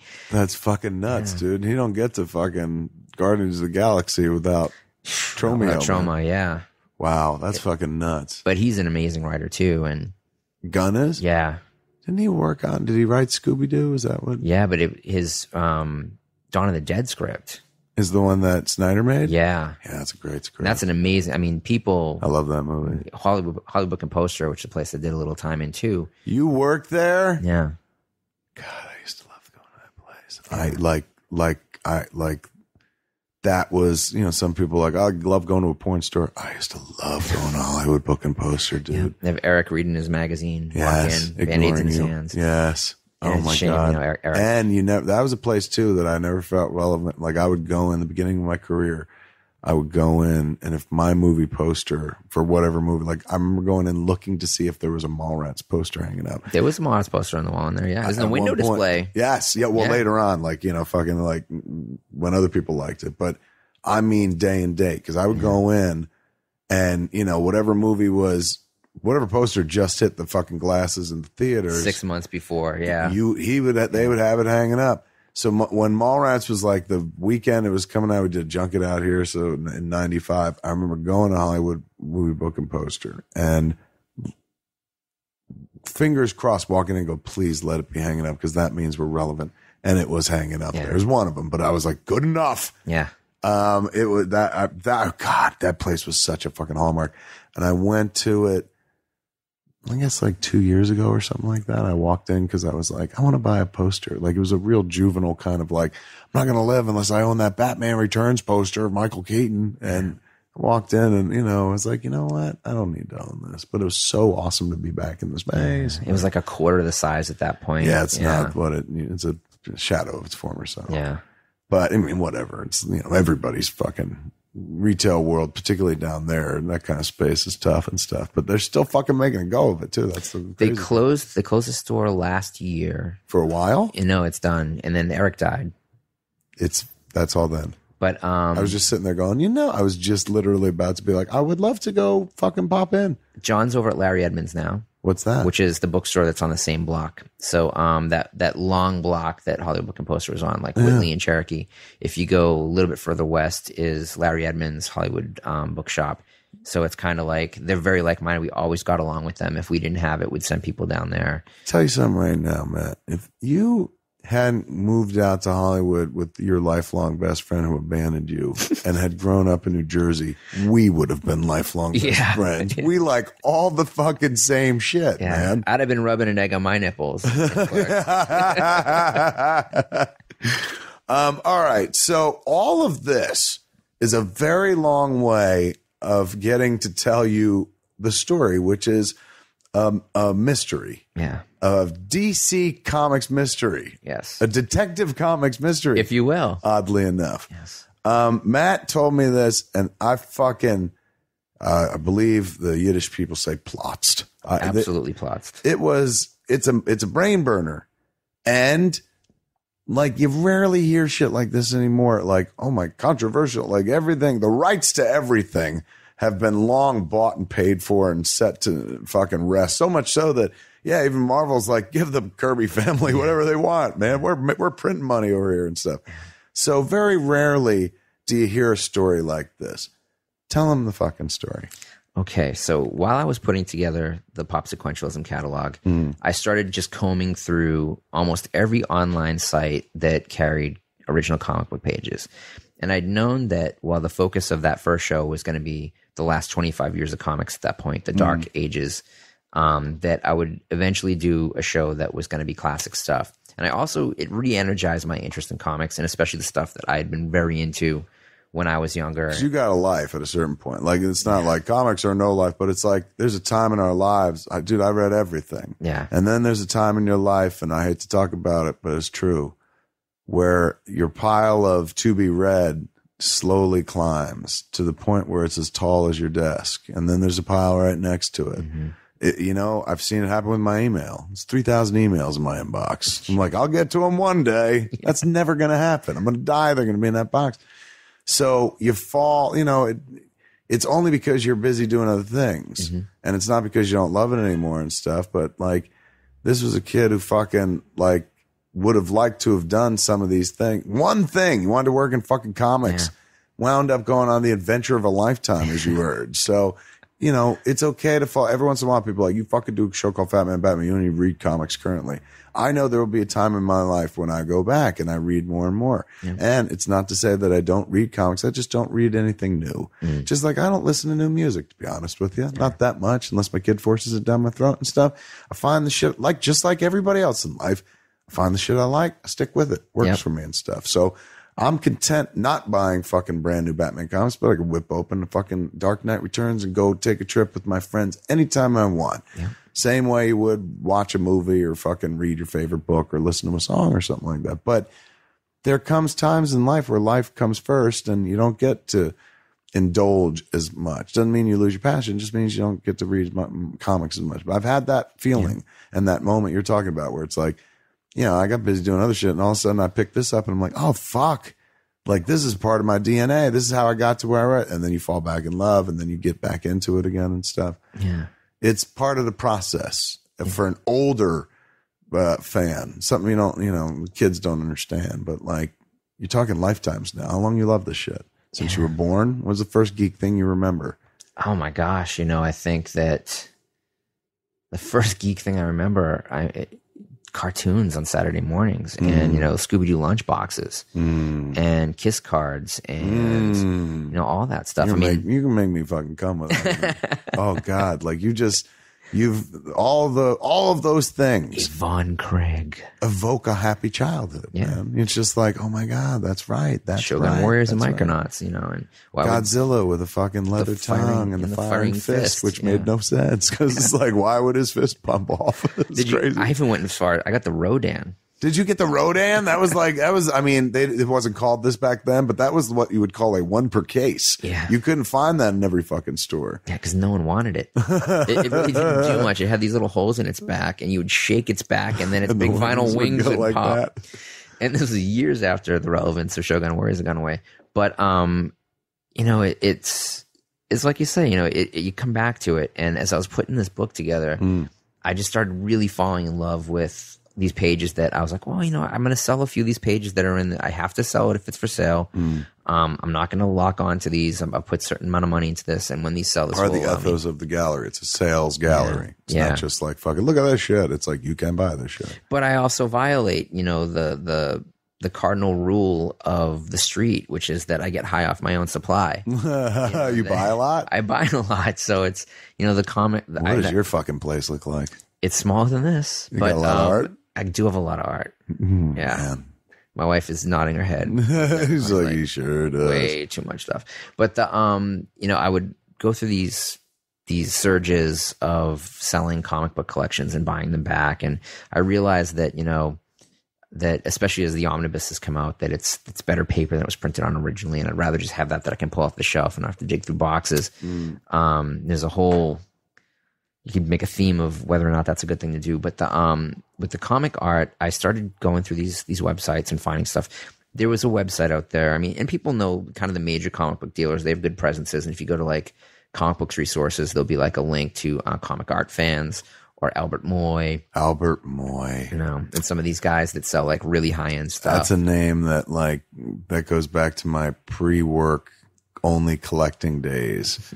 You go to the Albert Moy table and fucking table. It was like a fucking boutique. yeah, And the pieces were high fucking end. But I bought some Albert Moy pieces from the lower end. Some what do they call not I mean so I bought some pencil pages and ink pages, but what are the tr- the transfer pages or the like layer pages where you know they when they used to put together the book it was a fucking four page process or oh something yeah, the process. production color separation sheet. Yes, Yeah. bitch. Like I could afford that. That was in his like five buck or less bucket on the floor. There's like Comic Con, like right before Clerks came out, and Mm. I'm not sure if you'd been out to San Diego before that, But like 90, 95 was my first one. that was a good show though.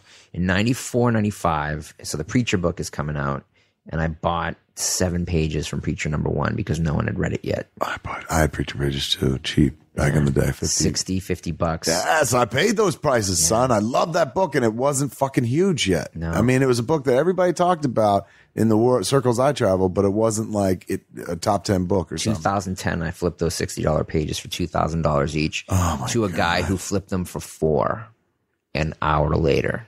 How does it make you feel? You're like you piece of shit. I don't mind, but what bugs me is that my friend Felix bought the pages from him, and I'd have rather just sold them to him for two thousand dollars. All right, Then you're to like the you guy had who to made go money through off of that. him. Fuck, yeah, you fucking Yeah. you juiced it up, you idiot. I'm like, I'm sorry, I, I cost you money. Not that I, not that I hurt myself. I just cost you money. But the um and Sandman stuff that you could get for sixty bucks from like the Shawn McManus run that became two thousand dollar pages. Oh my god! But you know all that stuff. You, I still have. I mean, I'm sitting here going like, I gotta go look at my pages. I'll, I'll praise him for you. but I I find this guy. You in- know what I my- have, dude? Peace, and I got to It's back in Jersey, and I got to like it's went back and forth across the country. You remember uh, Mage? Yeah. He had that beautiful painted cover for one of the hardcover editions. Yeah. I got that piece, Matt Wagner, fucking Mage. How have you not directed a mage movie? By the way, Dude, I almost we came not directed, but we came close. Like me and Moj worked with Matt and then the other two producer guys to try to get a Mage movie going at um Miramax a long time ago. I mean, there were a couple times we got close. Like they were like, we kind of like it, blah blah blah. And you know, they shy away from like at, at that time they were shying away from it's comic book, like, Yeah. but the story was strong enough to be like, you know, oh, it was Arthurian, blah blah blah. So we would we it, it I wouldn't say it got close, but like that's the closest like I've seen it come. and then Gilliam does Fisher King. Which kind of yeah a little bit, was different enough. yeah, but yeah, I remember it was kind of like a wow. This uh, this is like this is like somebody, you know, doing a cover version of a song. It's like doing, um, you know, walking in your footsteps by the police and changing it to walking in their footsteps. Mm-hmm. Yeah. You know, and maybe changing a note. It's the like, Nilsson without you. That's pretty good, Paul. But um, all right. So wait. So so to go back, um, you're looking at artwork, Mm-hmm. um, Albert Moys of this world and whatnot. So I find this guy who's got a page that was clearly set up in 1995 and never up, updated. A website page. Yeah, it, it's And it what year is this that you find it? this is 2011. okay. And so I'm looking through this guy's site, and at the time, I, I just looked, and it was a very frustrating site. It was set up like an Excel document. I think I've been to this site. You have, and you spent two minutes on it, And- like, and jumped off." this." Yeah, I think The, so. um, he would have something listed. He'd have like the title alphabetically. Mm. You couldn't rearrange it, so you'd have to go alphabetically by title. And um, then you'd look over, and it would be like artist name, and then it would be like you know the page. So it was a really weird way of arranging it. And then very, you'd have to like then shift over to the right. You know, you'd have to like scroll to the right to get the entire It's tough to navigate. thing in, and then you, it'd be a price, or it, or the worst, which was the most common thing, NFS, Which was not for sale. so he's just listing the pieces he had. Yeah, like Whitelisted. like rubbing your nose in it, and then then you could click on them and look at what you could not have, and it was the most frustrating thing in the world. And when I was when I was buying stuff for the pop sequentialism show, um, I spent probably an hour and like ended up like beating my fists into you know whatever desk I was on and just leaving the room. So I'm never going back. Fuck you! Upgrade But I was Squarespace.com, you piece of shit. I know. And so I finally, as as the months roll on, and um, I had like a weekend where I had nothing to do, and I was under the weather, and I think my girlfriend at the time was out of town. I'm like, I'm gonna check every single listing on this dick site, you know, and I'm gonna go through and I'm gonna figure out what's there, and I'm gonna I'm gonna I'm gonna scroll to the right, and I'm gonna look at price first. I don't care how much it hurts, how long it yeah, takes. how long it takes. And I'm gonna go to the price, and I'm gonna I'm gonna I'm gonna work this backwards like I would do anything else I do. And so I then it became easier because so much stuff that's not for sale I didn't even want to see it. So I go down and then I look, oh, it's like Adam Page who gives a shit, you know, and then scroll down, it's like um, you know, like um you name terrible artist, terrible title. And as I start going all the way through, and this is probably like five or six hours into the search. I mean, this is this is really epic. This Because is, he's got he's got it all. He's Yeah. he like- but the dude's like, I did this once. I'm never gonna do it again. I'm. I'll do it again. but he would update it if stuff sold. I found out later. but um, I finally get down to unknown. There was a couple of pages, and I'd open them up, and then you'd open it up, and the page would be the page, but it also have other stuff like written on it, and it was clearly not unknown. He had he had it credited to George Roussos. now who's that? George Roussos was the inker for Jerry Robinson when Jerry Robinson was working on Batman um, with Bill Finger for Bob Kane. For the uninitiated. Yes. Tell them who Jer- who that is. To- Jerry Robinson is the artist credited by everybody, including Bob Kane, for co creating Robin. He also co created a lot of other stuff, and um, it took um, Bob Kane years to even credit writer Bill Finger for, for co creating Batman and the Joker and things like that. So wait, let's let's throw the names out for a glossary for those who are like, what? Bob Kane, long considered father of Batman, now thanks to the sleuthing of the internet, yeah. Um, reduced to co-creator of Batman.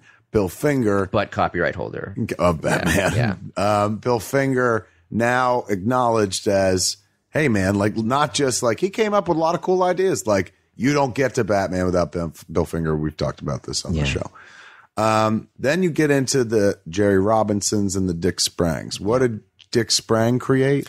Dick Sprang comes a lot later um, than Jerry and George, and a lot of the um, he changed the look um, of most of the characters into what a lot of people consider to be like the classic Batman and Robin style. Right. Um, not as rough as the um, the Bob Bob, Kane, Kane era, and not as um, I guess more like you might think of it as like a Joe Kubert type look to Batman that Jerry Robinson had, Mm-hmm. and he precedes Joe Kubert by quite a bit.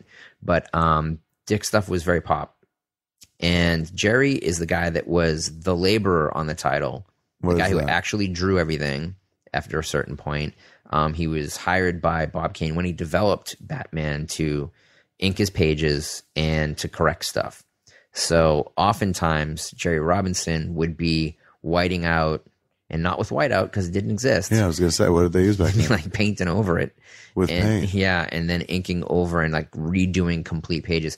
Now, um, s- the good news is that since um, and George Roussos has has mentioned in um in different interviews that exist that you can find that um that when he when he would get pages from Jerry that and they had come from Bob that there was a lot of white on the page that he had just like gone crazy with the white and redrawn almost everything because he was a perfectionist. But um and Jerry is actually incidentally one of the guys that got Bill Finger the credit. Like he fought tirelessly to get Bill Finger the credit for, for Batman, Really? and uh, just a really nice guy. But um, so I'm I'm looking through and I see this this listing for this page, and I look at it and it's a preliminary page. It's not a published page. That's interesting. Now, um, my favorite comic book character is Robin. really? Yeah, Why? Tell. my reasoning is that I could be Robin. That I wasn't born a billionaire, Right. but a billionaire could adopt me if my parents died. Right. You know, I'm not from space. I'm not from Krypton. I like- wasn't born a mutant. There's one road in for me. Yeah, I'm, I'm not as smart as Reed Richards or Tony Stark. Right. You know that that the only way I'm making this is if my parents are acrobats and die, that maybe Bruce Wayne will adopt me and make me his ward, and, and hopefully that won't be a weird situation. Your parents are like, I'm sure in there there's love for us, but Yes. we understand we have to die in order for his dream to come true. yes.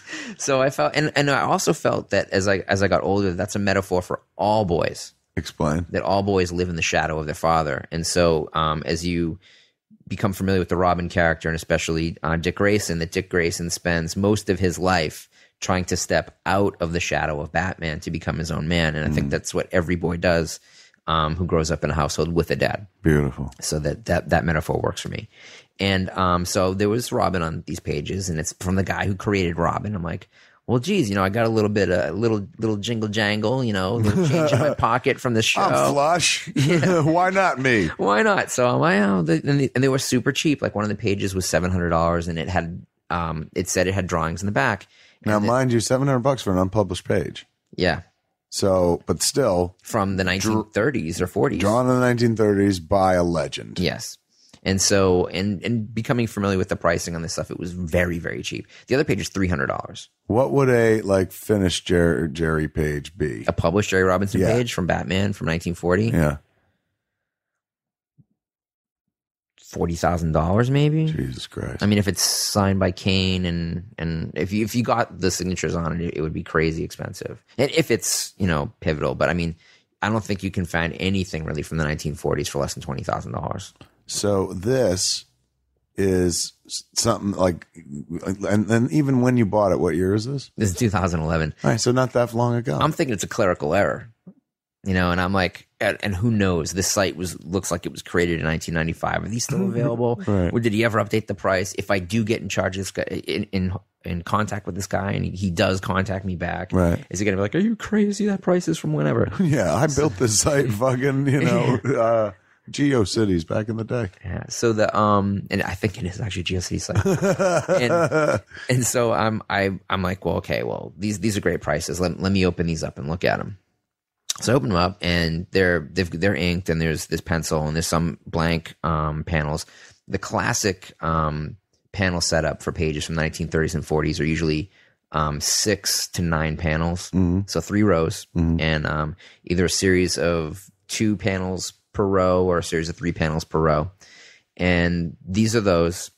And then I'm I look at this this he's got an image of the backside of one of these pages because he's he's presenting it as being a double sided page and it's priced as though it were two of these three hundred fifty dollar pages or whatever. Right. And I look at it and I I expand it and I start really looking at it to see if I can read it.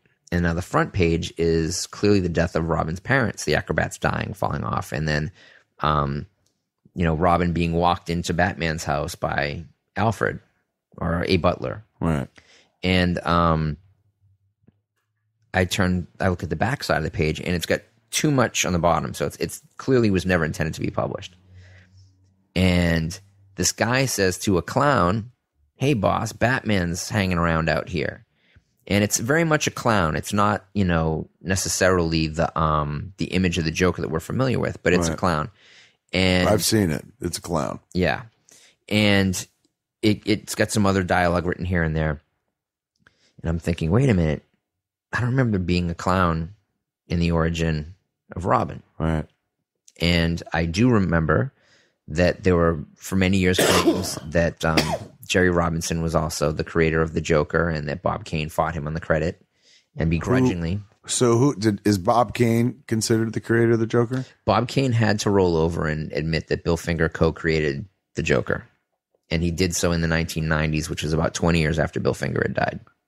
So for for years he was like, I created the Joker, the same way me. that he was like, I created Batman. Yeah. And then in the nineties, long after Finger passed, he was like, Yeah, Bill helped on the Joker. Yeah. Now but who so who drew? Jerry Robinson. But who drew the original Joker? Jerry Robinson. Nobody contests that. Okay. So I'm thinking, what do I have here? Like, here's a drawing by the guy who created Robin of a Robin origin that imp- that a clown is implicated in. Mm. And this is a guy that also claims that he was part of the team that created the Joker. And I start thinking about the lineages and I start like thinking, well, holy shit, this page is only $700, number one. Yeah. And so, Get it. so I'm like, okay, I'm like, you know, fingers bouncing on the table. What do I do? What do I do? I was like, I have to buy these. I'm going to buy these. And he had three pages that were um, from the same set of preliminary Batman pages. And um, it appeared, he, I think he might even had it listed that he thought that they were from Batman 10. He was wrong. I checked, and um, it was Batman 11 is the retelling of the Robin origin. And it has some of the same exact panels in it, but in a different context. Right. So I I leave one page because I didn't. I was like, well, if he thinks I'm going to buy them all, maybe he'll let me buy them all. And so I, I um I, then I start going back to the site. Okay, what's available? What's cheap? I need to add some some meat to this so that it doesn't look like I'm only after these Batman preliminary pages. So I buy You're this. a pro, dude. Walt would be proud. you would be. Holy fuck. That's as good as buying figures and returning other figures at Suncoast. putting the the saran wrap around the album, putting in the oven. yes. But the um the I found a romance page that was attributed to um, Vince Colletta, which was clearly not a Vince Colletta page. And having seen Jack's artwork, I knew it was a Jack Kirby page that maybe Vince inked.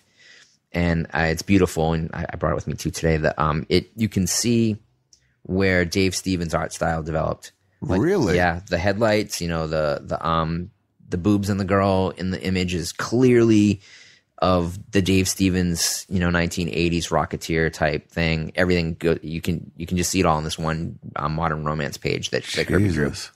So I, I put that in the list, and I put a couple of dailies for um for Terry and the Pirates, and um and one other thing, I think it was a daily for a Charles Schulz Peanuts daily, which turned out to not be available. But so How much was he asking for that though at that time? It was four hundred dollars. Really? Yeah. What would a Charles Schulz daily go for today? Um, after Charles died, they doubled and tripled in value, but um, they they still not too crazy because there's, there's hundreds of thousands of them. Oh my God, you guess you're right. Yeah, But there's only one of each, right? yeah. Did he? Was he his own artist Charles, I- as far as I know, Charles all the way to the end? Yeah, He didn't have a ghost or anything. he might have had somebody helping him out towards the end, but um, it's it's pretty much Charles Schulz, and he doesn't seem like a guy that would have left somebody's name off. Like, you know, you see the Flash Gordon serials, and you know, Al Al Williamson got his name on those. It didn't uh-huh. just say, you know, Alex Raymond or something. It, it would have the names of the guys, and and Dave was was ghosting under Al Williamson, Who was? Dave Stevens, Was ghosting under Al Williamson yeah, doing some of the Flash Gordon stuff and, and in in the comic strips? dailies. Yeah, strips. Really? Before he was Dave Stevens or Yeah. while he was Dave Stevens? Yeah, before he was Rocketeer, Dave Stevens. Jesus. Yeah, but um, there's a lot of a lot of the guys made their living in the syndicated strips for a bit, and I have a piece of Dave Stevens, tiny, tiny piece of Dave Stevens artwork on the wall out there. my eyes just bugged. When my, I mean, don't go too far. It's so fucking. It's not. A, it's original, but it's not published. When my kid was born, um, Joe Quesada uh, and and uh, um, got Bob Chapman at Graphitti put together this jam piece to be like, hey, it's a girl, and that's what it says. It's a girl, and it's Madman, Madman, um, Daredevil, who I worked on with Quesada, Mhm. and and I want to say Mage or something like that. I forget who the other one is. I had a Mage Graphitti design shirt with the lightning bolt. Oh, I fucking lived in that shirt. But they're holding a baby, and the baby was drawn and painted by Dave Stevens. Wow, When you leave, you'll be able to see it. that's amazing. It's fucking nuts, man. Like it's an incredible jam piece, and from what I understand, not like it's the last thing he painted, but it, he was not around much longer after Yeah. that. He passed away, unfortunately. He's a, he's a really sweet guy. Was he? Never met him. Fuck, I love the Rocketeer, dude. Yeah. Like, you want to talk about capturing imagination. Yeah. And it was beautiful. Like, just beautiful to look at. And in terms of the comic book movies, pretty fucking true to the book. Like, you know, when The only thing everybody they- got mad about is that they didn't call her Betty. Yeah. Well, that, well, because the Betty, they were having a hard time with um, Contacting the Bettie Page Estate thing. and Irving Klaw. And also, remember, the Rocket Pack was completely different. Yeah. It was a dual engine as opposed to the single engine. yeah. God, I love the fucking Rocketeer. The- What a great! I had that statue. Oh, fucking amazing. Um, all right, so you got you, you order the pages. They didn't have the Schulz. You're sitting there trembling. Well, I get a contact back from him. I get an email back, and he's like, um, well, going, uh, this site still works. yeah, because he doesn't take credit cards clearly, and Oh my um, God. he was only taking like checks or money orders. And because of the amount of fraud in checks and money orders, um, he needed to qualify me. Qualify me. He was like, "You need references. You need to supply some references." And I'm like, "Ah, well, yeah. I mean, I, I buy from everybody. You know, like who do you know? Um, I, I named off Felix. You know, I named off um, you know, the the Claw. You know, the guy used to sell movie posters in New York. Like all these people that I was buying from mailers. Like, oh yeah, I know Felix. And um, he's like, okay, so you, you can you can pay with a check. And I was like, can I send you a company check? You know, I work at a gallery. He's like, yeah, it's no problem. You just gotta wait for it to clear. I was like, that's not a problem. So I next day air out the check, and I actually, full disclosure, I also asked for a discount, you son of a bitch. and he gave it to me. and uh, he told me that the Schulz page wasn't available, and so uh, we we settled the amount, and I sent him a check, and um, I'm I'm like waiting in hives for like the next week to see if I get this thing in the right. mail. You know, I'm like, ah, what what if he realizes what he has and he changes his mind? You know, um, you know, any anything can happen. And so a week later, I get this package back at the gallery, and I open it up, and you know, it's like a kid opening up a present, you know, and I, I open the, um, the masonite because it's everything ships in these, these pieces of masonite that are taped together. And I Hmm. very carefully cut the masonite open and, and, you know, I pop it open and the very top piece is not a piece that I ordered. so right away you're like, fuck. Oh no! and so I'm like, oh fuck, you know, I'm like, what if, what if? Then I pull everything out. It was the only thing that was wrong. It was not the wrong. It wasn't like the wrong piece of something I ordered. He accidentally packed another piece. Ah, So I, I, I take everything out. I put that aside. The Steve, the um, Terry and the Pirates pieces are fine. Modern Romance piece is fine. And then there's those Batman pages, and I was just like giddy, you know, like giggling like a you maniac. only see it on the computer from a fucking 1995 scan. Yeah, which which like one one line at a time opens you know? You can hear the modem working on the other end. But the um when i when i looked at them i'm like this is even kind of more of a of a fantastic thing like and and i've sent some images that you guys can run. The um that looking at this page I, a couple of things kind of immediately leapt into my head now i i know about comic art and i know how to spot a real page from a fake page Okay. and I know the errors that things were created by just experience of being around certain grades of paper, um, when pencils have been added, when ink has been added, and um, and the nature of how things are set up and how that can age things. I've seen people try and pass off like Captain America pages from the 1960s as authentic, and I'm like, where's the glue for the lettering? You know, like how come this isn't messy? You know, I've seen the way Jack handled stuff. I know how they handled stuff at Marvel. This would be a complete and total mess. Right. And this looks too too good to be true. It's too good to be true. And it's like, oh, and this is the wrong type of ink. But um, with um, with this stuff, I'm looking at it and I'm like, okay, these are preliminary pages. Why were they inked? I hadn't even thought about that before. If it's a preliminary page, and th- these were like guys that were working all the time on multiple titles generally and producing a lot of work, and they didn't take a lot of time. The reason why Jack Kirby wouldn't let Vince Colletta ink him is because he erased a ton of his line work because Vince was inking like 13 books a month. Oh, so he was just like doing Detail was- out the window. Yeah, God. And then he'd get a hold of somebody like Gene Colan. He's like, I can't ink this. I don't know what to erase. So um, they would actually publish like pencil pages sometimes for for Gene Colan. They just contrast it, which is what everybody does now. But the um, I'm looking at these and I'm like, why are they inked? Why is there ink on this? Some of it's in pencil. Some of this is inked. Why was it inked? It's clearly inked in the same era as as when it was created. I start looking into the um, you know, I find out with a little bit of research that it's Batman 11, not 10, that had the retelling of the the um the Robin origin. Then I start digging into Jerry's life, and I found out, you know, that um that Jerry's family were all card players. His dad was actually owned the very first movie theater in Trenton. Really? Yeah, his dad was a Russian. Jerry Robinson's dad Mhm. owned the first movie theater in Trenton, New Jersey. Yes. What a weird fucking like. I, I could win Trivial Pursuit knowing that. Yeah, yeah. So he's the youngest of um Is he first generation American? yeah, Really? Yeah. Um, youngest of five kids. Um, has an older sister, three older brothers. Um, his mom was a, a, a local bridge champ. His um, one of Which his requires brothers, cards to play. yeah, one of his brothers is um, also a a tournament champion of bridge and other card games. So they all grew up playing cards. So I start reading up on on the story, and I start first online, and then kind of digging through back issues and stuff. When I find out there's interviews with this person, that person, and um, I first started going through George Roussos because that was the person who had been credited. And after I, I got the pages, and I kind of realized in a few months what I had, I contacted the guy that sold them to me, and I was like, "Do you? Where did you get these?" He's like, "Oh, I bought these at a Sotheby's auction in 1991. I think he said maybe 92." And I'm like, "Do you know where they came from?" And he's like, "I, I believe they came from Jerry Robinson's collection, or he said George Roussos collection." And I was like, "Oh, have been George Roussos."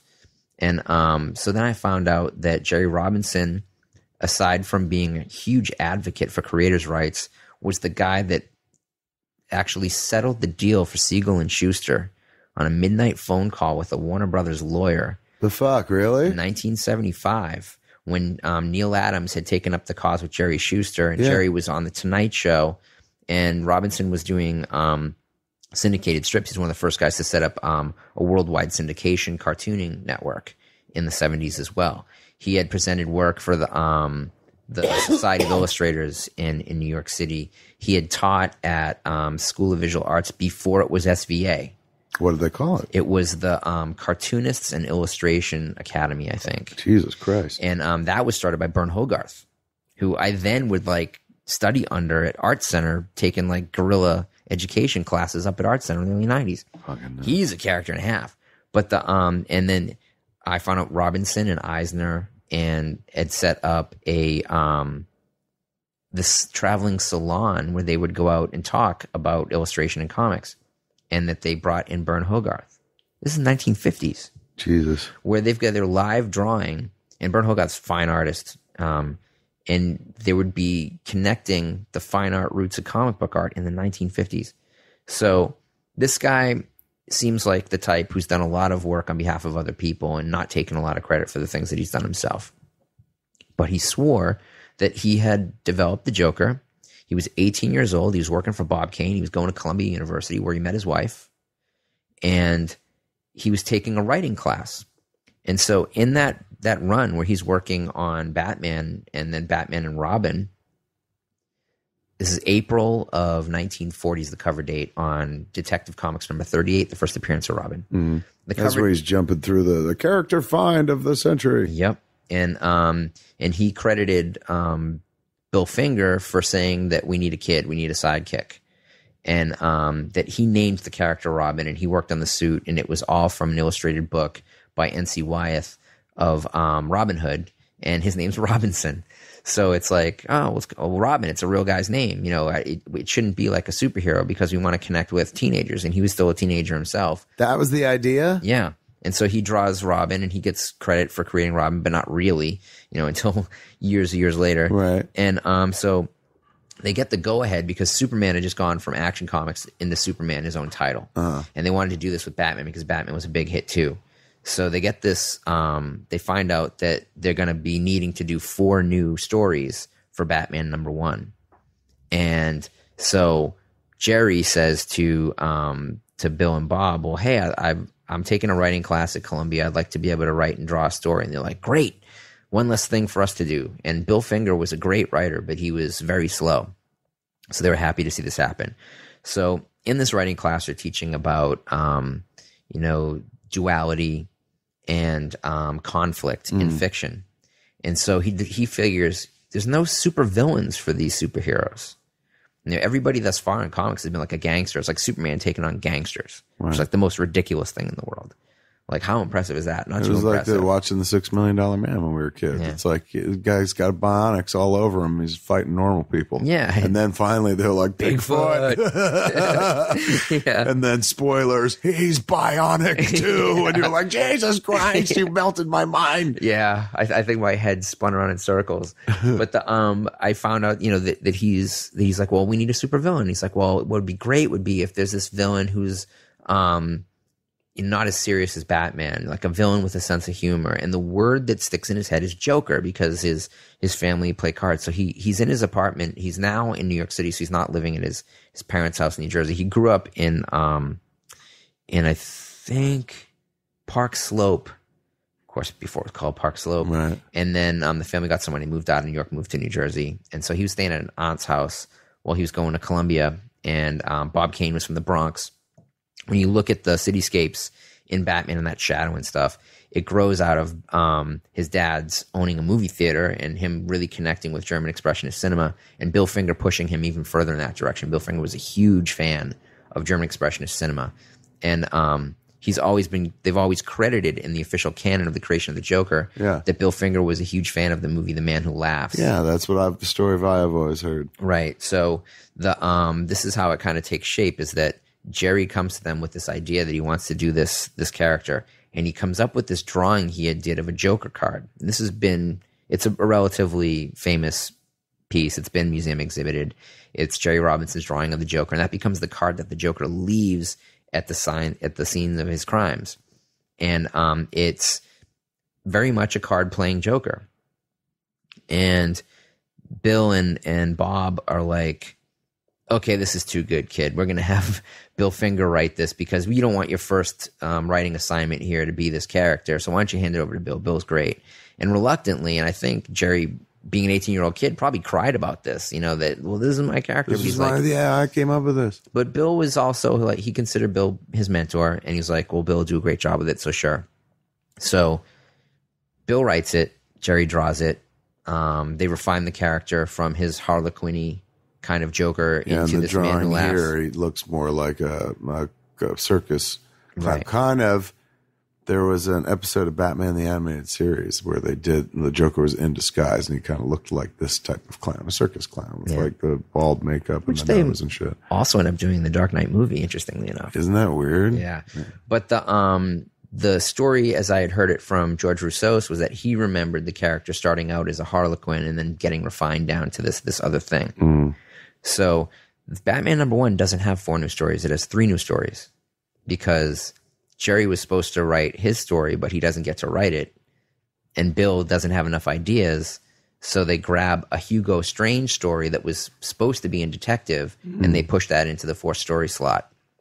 And so I'm thinking, okay, well, this is this is the official story, and and Bob Kane fought it, you know, tooth and nail his entire life. No, because I think at this point, saying he had to admit that Bill Finger had written everything, because there's so many witnesses around at the time. Everybody Right. fought for it, and Jerry Robinson fought for Bill's credit. He fought for them to give that uh, award out at Comic Con, the Bill Finger Award for writing comics, and um, that he had to kind of relent. And then he even said that he felt bad that he he felt bad that he had slighted Bill for so long, you know, in in the connection with the story. And I think as people get older, they kind of want to wash away their sins if they think they're going to die. But AKA, even Bob Kane had a soul by the end. Even Bob Kane.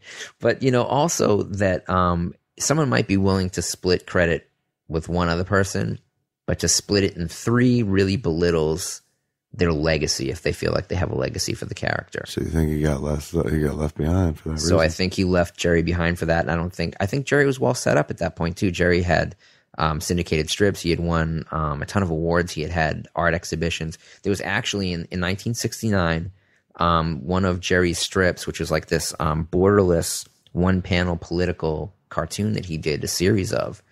Um, he did a a collaged piece in a pop art exhibition alongside Roy Lichtenstein. Oh my God. And there's a photograph of Jerry, Roy, and Jerry's daughter at this exhibition standing in front of this piece that, that Jerry had done. I mean, he was, Jerry was not a guy who sat back and um, did nothing. I mean, he, he made his own projects and he built up a reputation. He was teaching at, at, at this point probably four different schools.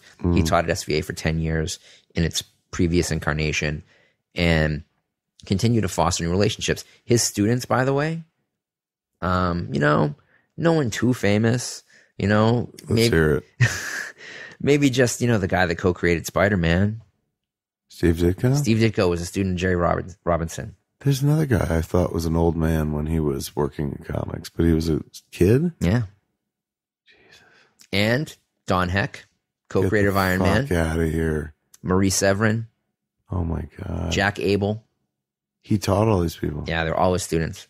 And a lot of them ended up working with him too later when he set up his his syndication. And that's why I think that Steve What is Ditko was happy to leave. syndication? What is that? So syndication would be people that would work on strips and they get placed in newspapers around the world. So name a strip that they would work on. Oh, well, um, one of the strips that they were working on, there was two that Jerry wrote himself. And I actually have to have to think back on that for a second, but um, But not like Spider Man, Batman. no, but like King Syndicate is the Right. the company that runs like Little Abner and, Yeah. and you know almost everything you read in say the Boston Globe Sunday, the New York Times Sunday. So all of those those little comic strips are syndicated features. They don't work directly for the paper that publishes it. The paper buys the rights to keep publishing this particular comic. Right. So even things like Bloom County and, you know, honestly, I can't think of anything newer than Bloom County as far as a strip, you know, but Family Circus, whatever, um, Bizarro, Far Side, those are all syndicated strips. What Jerry did is he started contacting foreign newspapers and marketing the the strips that they were working on that he created and that the people in his his bullpen, if you will, were creating and marketing them for Spanish newspapers and French newspapers and English newspapers. Ah, and his son um, Jens went to school in England and helped open up the English publishing market for these syndicated pieces.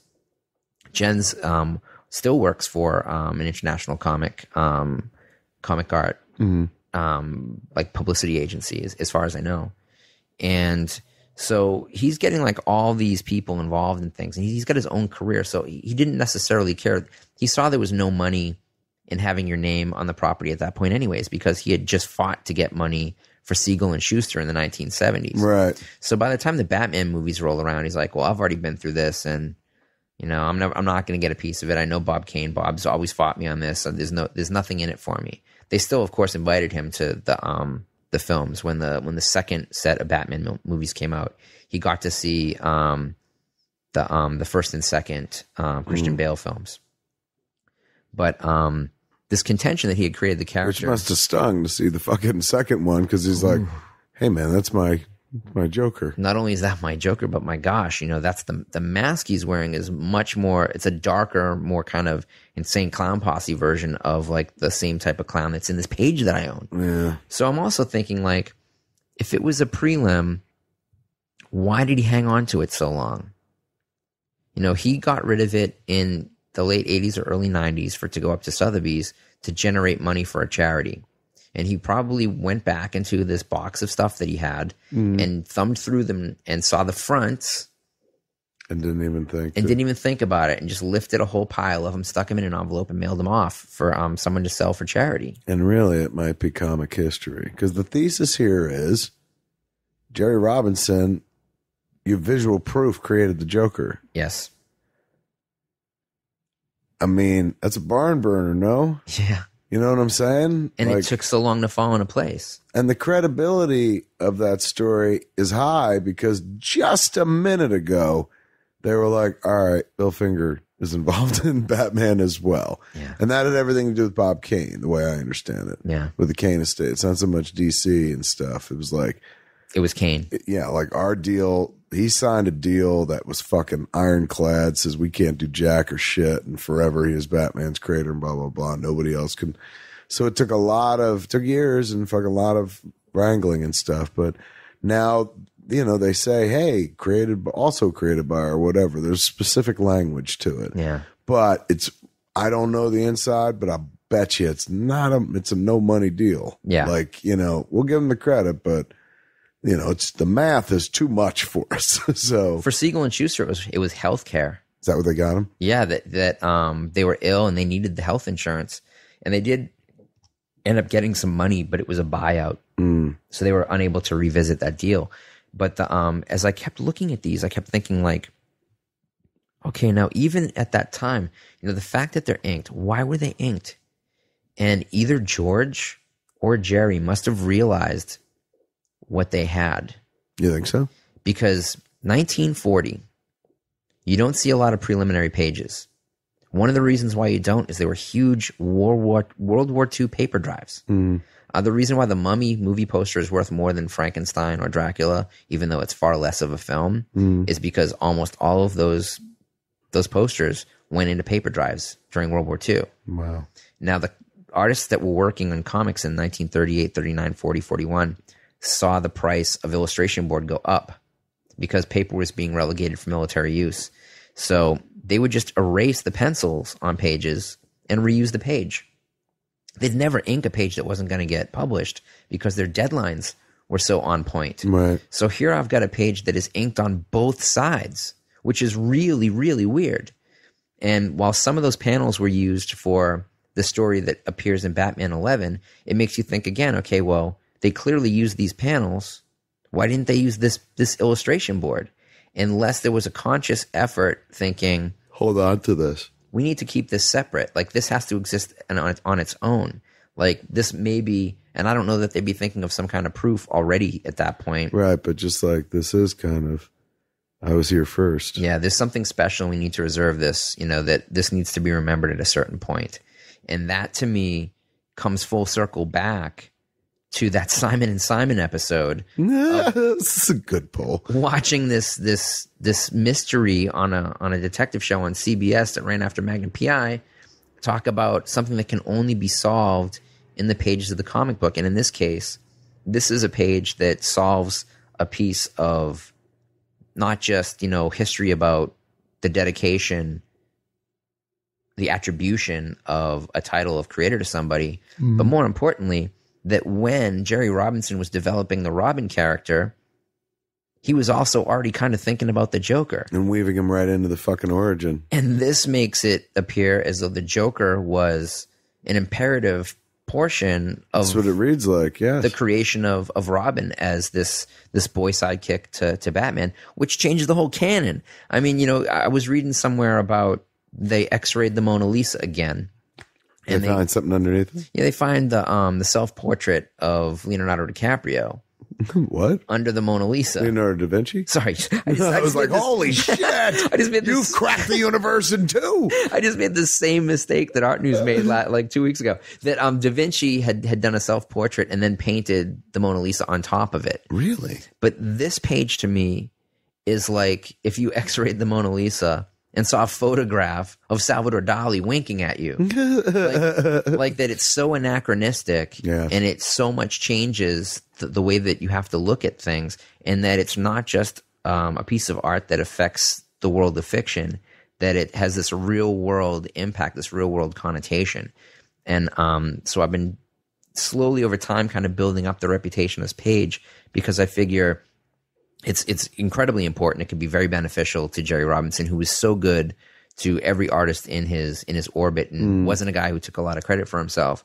That this needs to happen, and that um, just as it needed to happen for Marvel to finally give Jack Kirby credit, but that also if a a Todd McFarlane Spider Man cover sells at auction for almost seven hundred thousand dollars, what is this? Yeah. Like, what kind of price can you put on this? It's there's nothing else like it in a in an industry of unique things, where there are pages that only exist as what they are.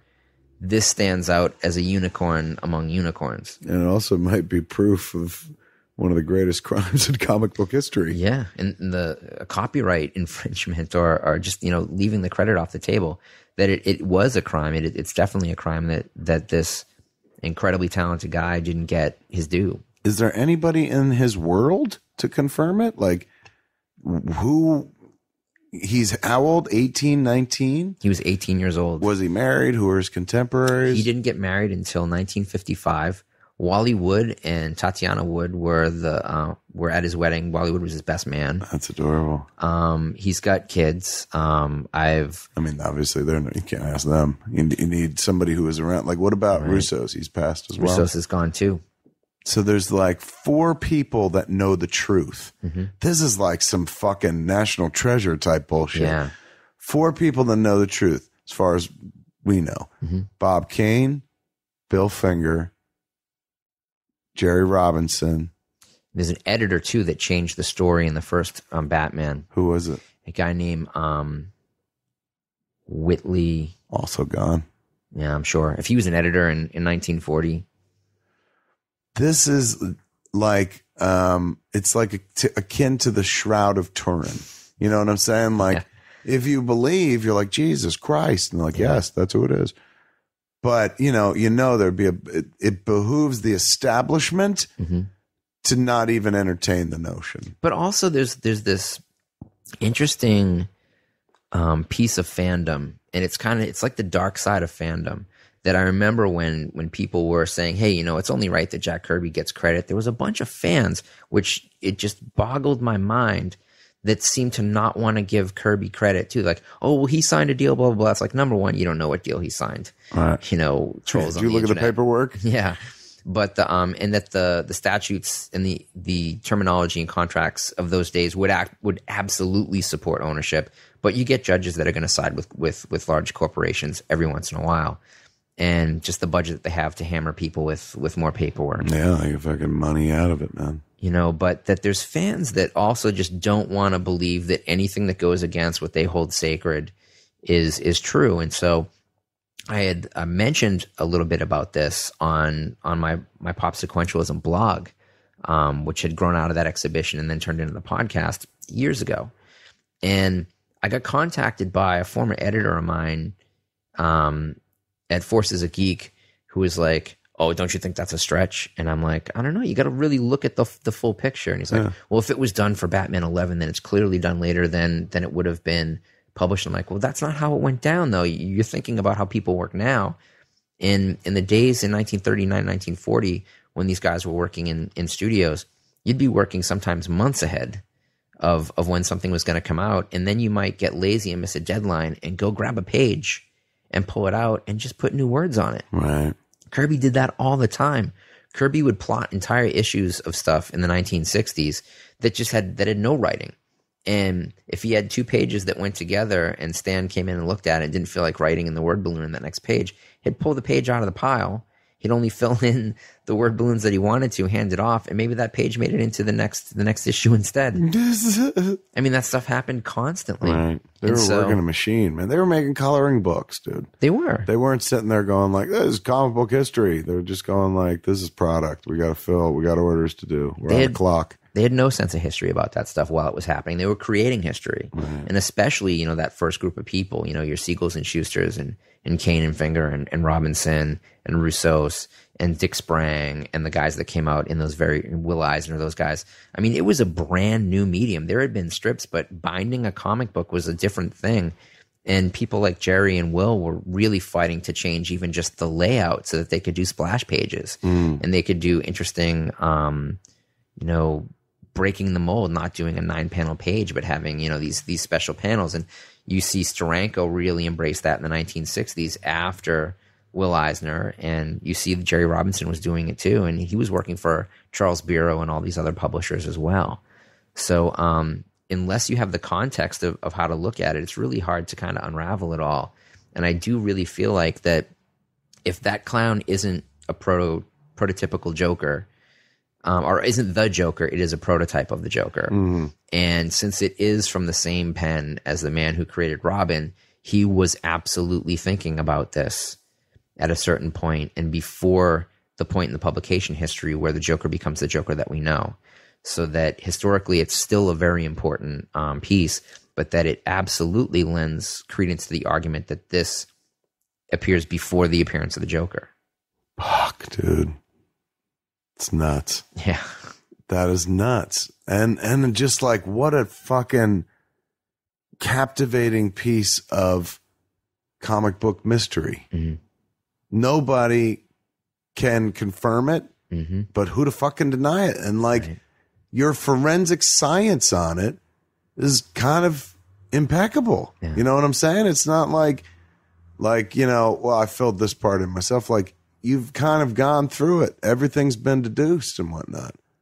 Yeah, I think it's dangerous to make a leap that, especially when you're trying to create provenance for something that, that could be very, very valuable, Right. not just in terms of of money or resale value, but that it's it's important to people's lives and it's important to the way they think about things. That it's very dangerous to make a leap that you can't make with some kind of secondary um, verification. And everything that I've pieced together comes from something that's out there already. You know, interviews from things as recent as the Comics Journal and things as old as um, special industry publications for the Society of New York Illustrators Whoa, geez. you know that type of stuff that um that you can track these down that there have been on camera interviews with people that were in and that are in the extended family of of Jerry Robinson and others so that it's it's pretty well it's out there and that it just takes somebody to kind of edit and put it together and I've done this much and obviously would hope that if there's anybody else that has um, information that they can add to the puzzle that we can extend it because it's most Fuck it, important Dude, there's got to be somebody listening out there, man. Motherfuckers listen to Serial, that podcast. this is, I mean, maybe this isn't as important as a man's life in prison hangs in the balance, but like a lot of amateur sleuths out there listening, man. If they can lend a hand, where do they find? yeah, they can if they can open it up, that'd be great. And shoot me an email for sure. Where's that? Um, info at laluzdejesus.com or um, info at popsequentialism.com. You're gonna put it up? You're gonna display it at any point? Have you displayed it yet? I haven't displayed it yet. I mean, there's there's been honestly the amount of people who have seen this in person since I've owned it. I mean, I, I don't know how many people saw it Right. over the decades, but um, you're talking like six people. What about permanent display in in the gallery? I mean, Well- shit, that'd send fucking a bunch of people to be like, I got to see this, I would. I'd rather it go into a museum. right? But you, know. got, you kind of got well, gallery is a museum. We me, do, but it's it's hard to display double sided pieces. right. So you need like lucite glass. Yeah, and it'd have to hang in the middle of the room. in the middle. Yeah. Yeah, Um, fuck. Like like young Indiana Jones said, dude, this belongs in a museum. like it's it might be a fucking very important part of, of everything we know and love about these characters, man. and it doesn't make anything worse. It makes everything better. Yeah, it enriches it a little bit. Mm-hmm. I always thought that the man who laughed origin was just like, all right, so you saw a movie and ripped it off, but you know, this a little more poetic, right? Yeah. Like, well, playing cards were always a big thing in my family. That's fucking some tremendous sleuthing, dude. Thanks, That is fucking 70s detective show level sleuthing. Like, Baretta. yes. It's right up there with the greats. Um, fucking A, man. What a fucking journey you took us on, dude. You took us through young Los Angeles geekdom all the way back to fucking the origins of the Joker himself, as well as Robin.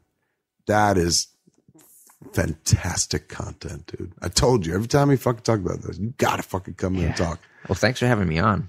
astounding story, dude. Like, and and every part of this makes me so happy because fucking your life journey story is interesting enough. And then we were like, okay, here's the real thing. Yeah, it's about fucking did Jerry Robinson create the Joker? like, Jesus. it's like exit to the gift store. Yes. I thought this was about Banksy.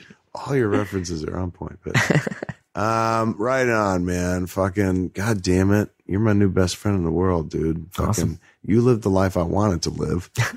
and and boy, your commitment to the fucking genre. Like it you're a man and look where it's taken you. You know, like when I was a kid and probably when you were a kid, maybe not so much the world you lived in, but where I was, like, oh God. They were like, why are you looking at this stuff? This is for fucking kids. Same or thing. in the 80s and 90s, this is fucking gay or, Yeah. or something like that.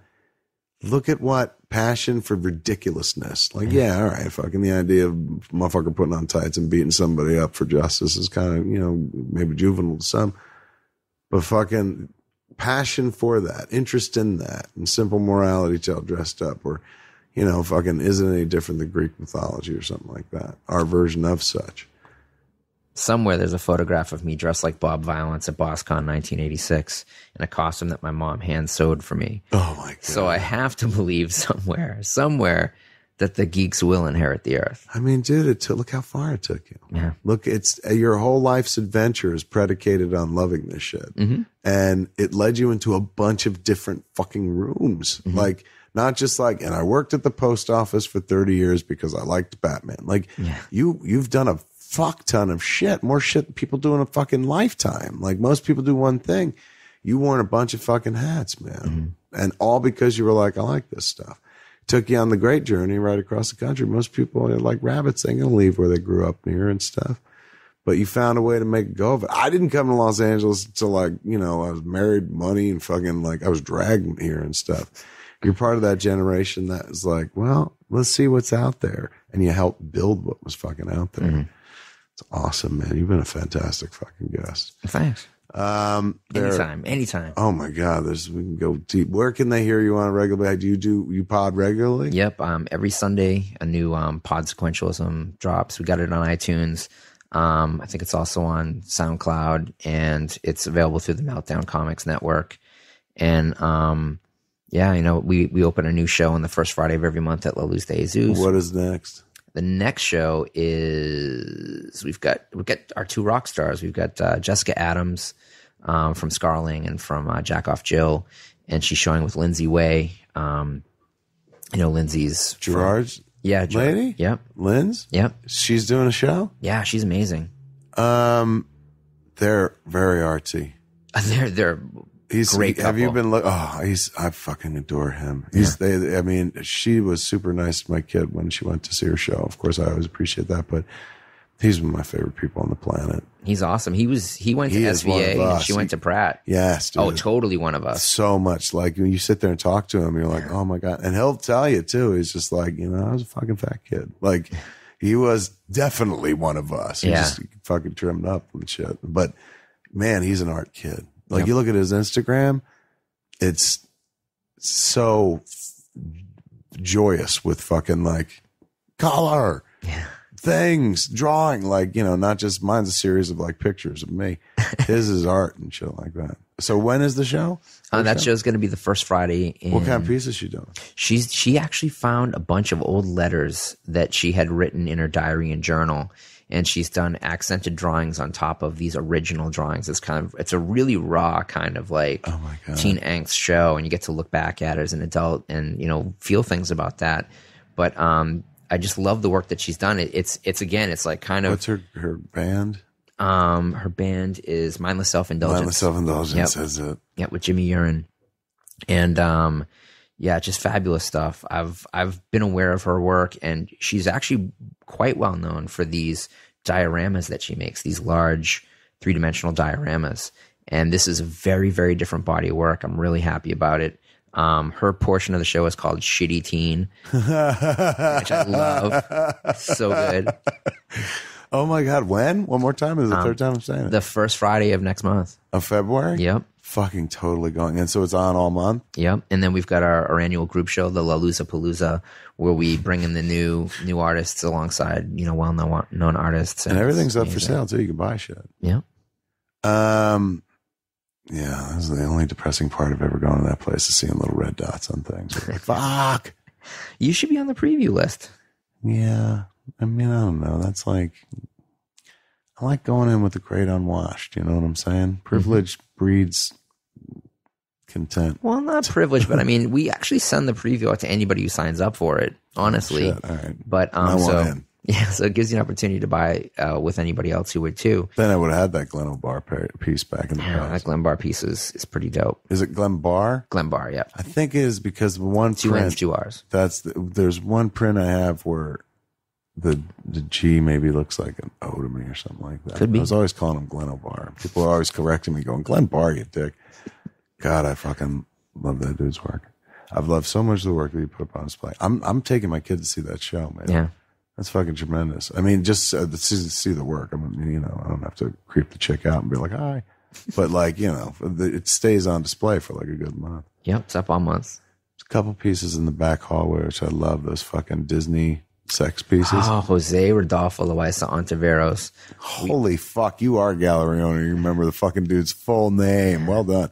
Tell him what they are, those pieces. Oh, he does the the kissing Disney princesses, and he's always done well. And it's funny is that um, he got retweeted by Katy Perry and Lady Gaga a lot. Right. And then last year during the LA Art Show, um, he got retweeted by Madonna, and everything we had sold. Really? Yeah, and we've got I think there's we have two pieces in the hallway now that were produced after that, and we have access to one amazing older piece, which is um, Bambi's mom getting mounted by another deer in front of all of the other like Disney forest animals, Right. and that deer is getting mounted by another deer.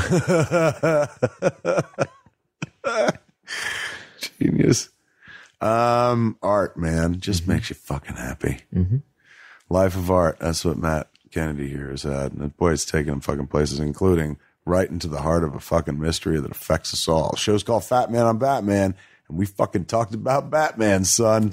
Maybe a little too much in terms of people being like, wait a second, you just shattered the universe. Um, you're doing the Lord's work over there Thank you. go see that gallery, folks, in California. If you're out here in Los Angeles, if you haven't seen it yet, you fucking. By the end of the show, you better go see it. I guarantee you pick up a bunch of listeners off of this. I could sit here and listen to you fucking talk all day. Oh, thank like you swear it. I, s- this sounds so fucking cliche to say, and I'm always baked, so I can't blame this. I'm like I'm high, but like. You're like a brother from another mother, man. Absolutely. You're like the older brother I wish I had, or the fucking twin brother I wish I had, where it's like, my brother's always doing cool shit. Like now he works at Troma. Now he fucking does this. Jesus, dude, you spun a lot of plates, man. You keep doing it. Fucking awesome. Um, there it is, folks. Uh, for Fat Man on Batman, uh, I've been Kevin Smith, man. Uh, tune in next week, same fat time, same fat channel, smodcast.com. This has been a production of Smodco Internet Radio. Sir, only at smodcast.com.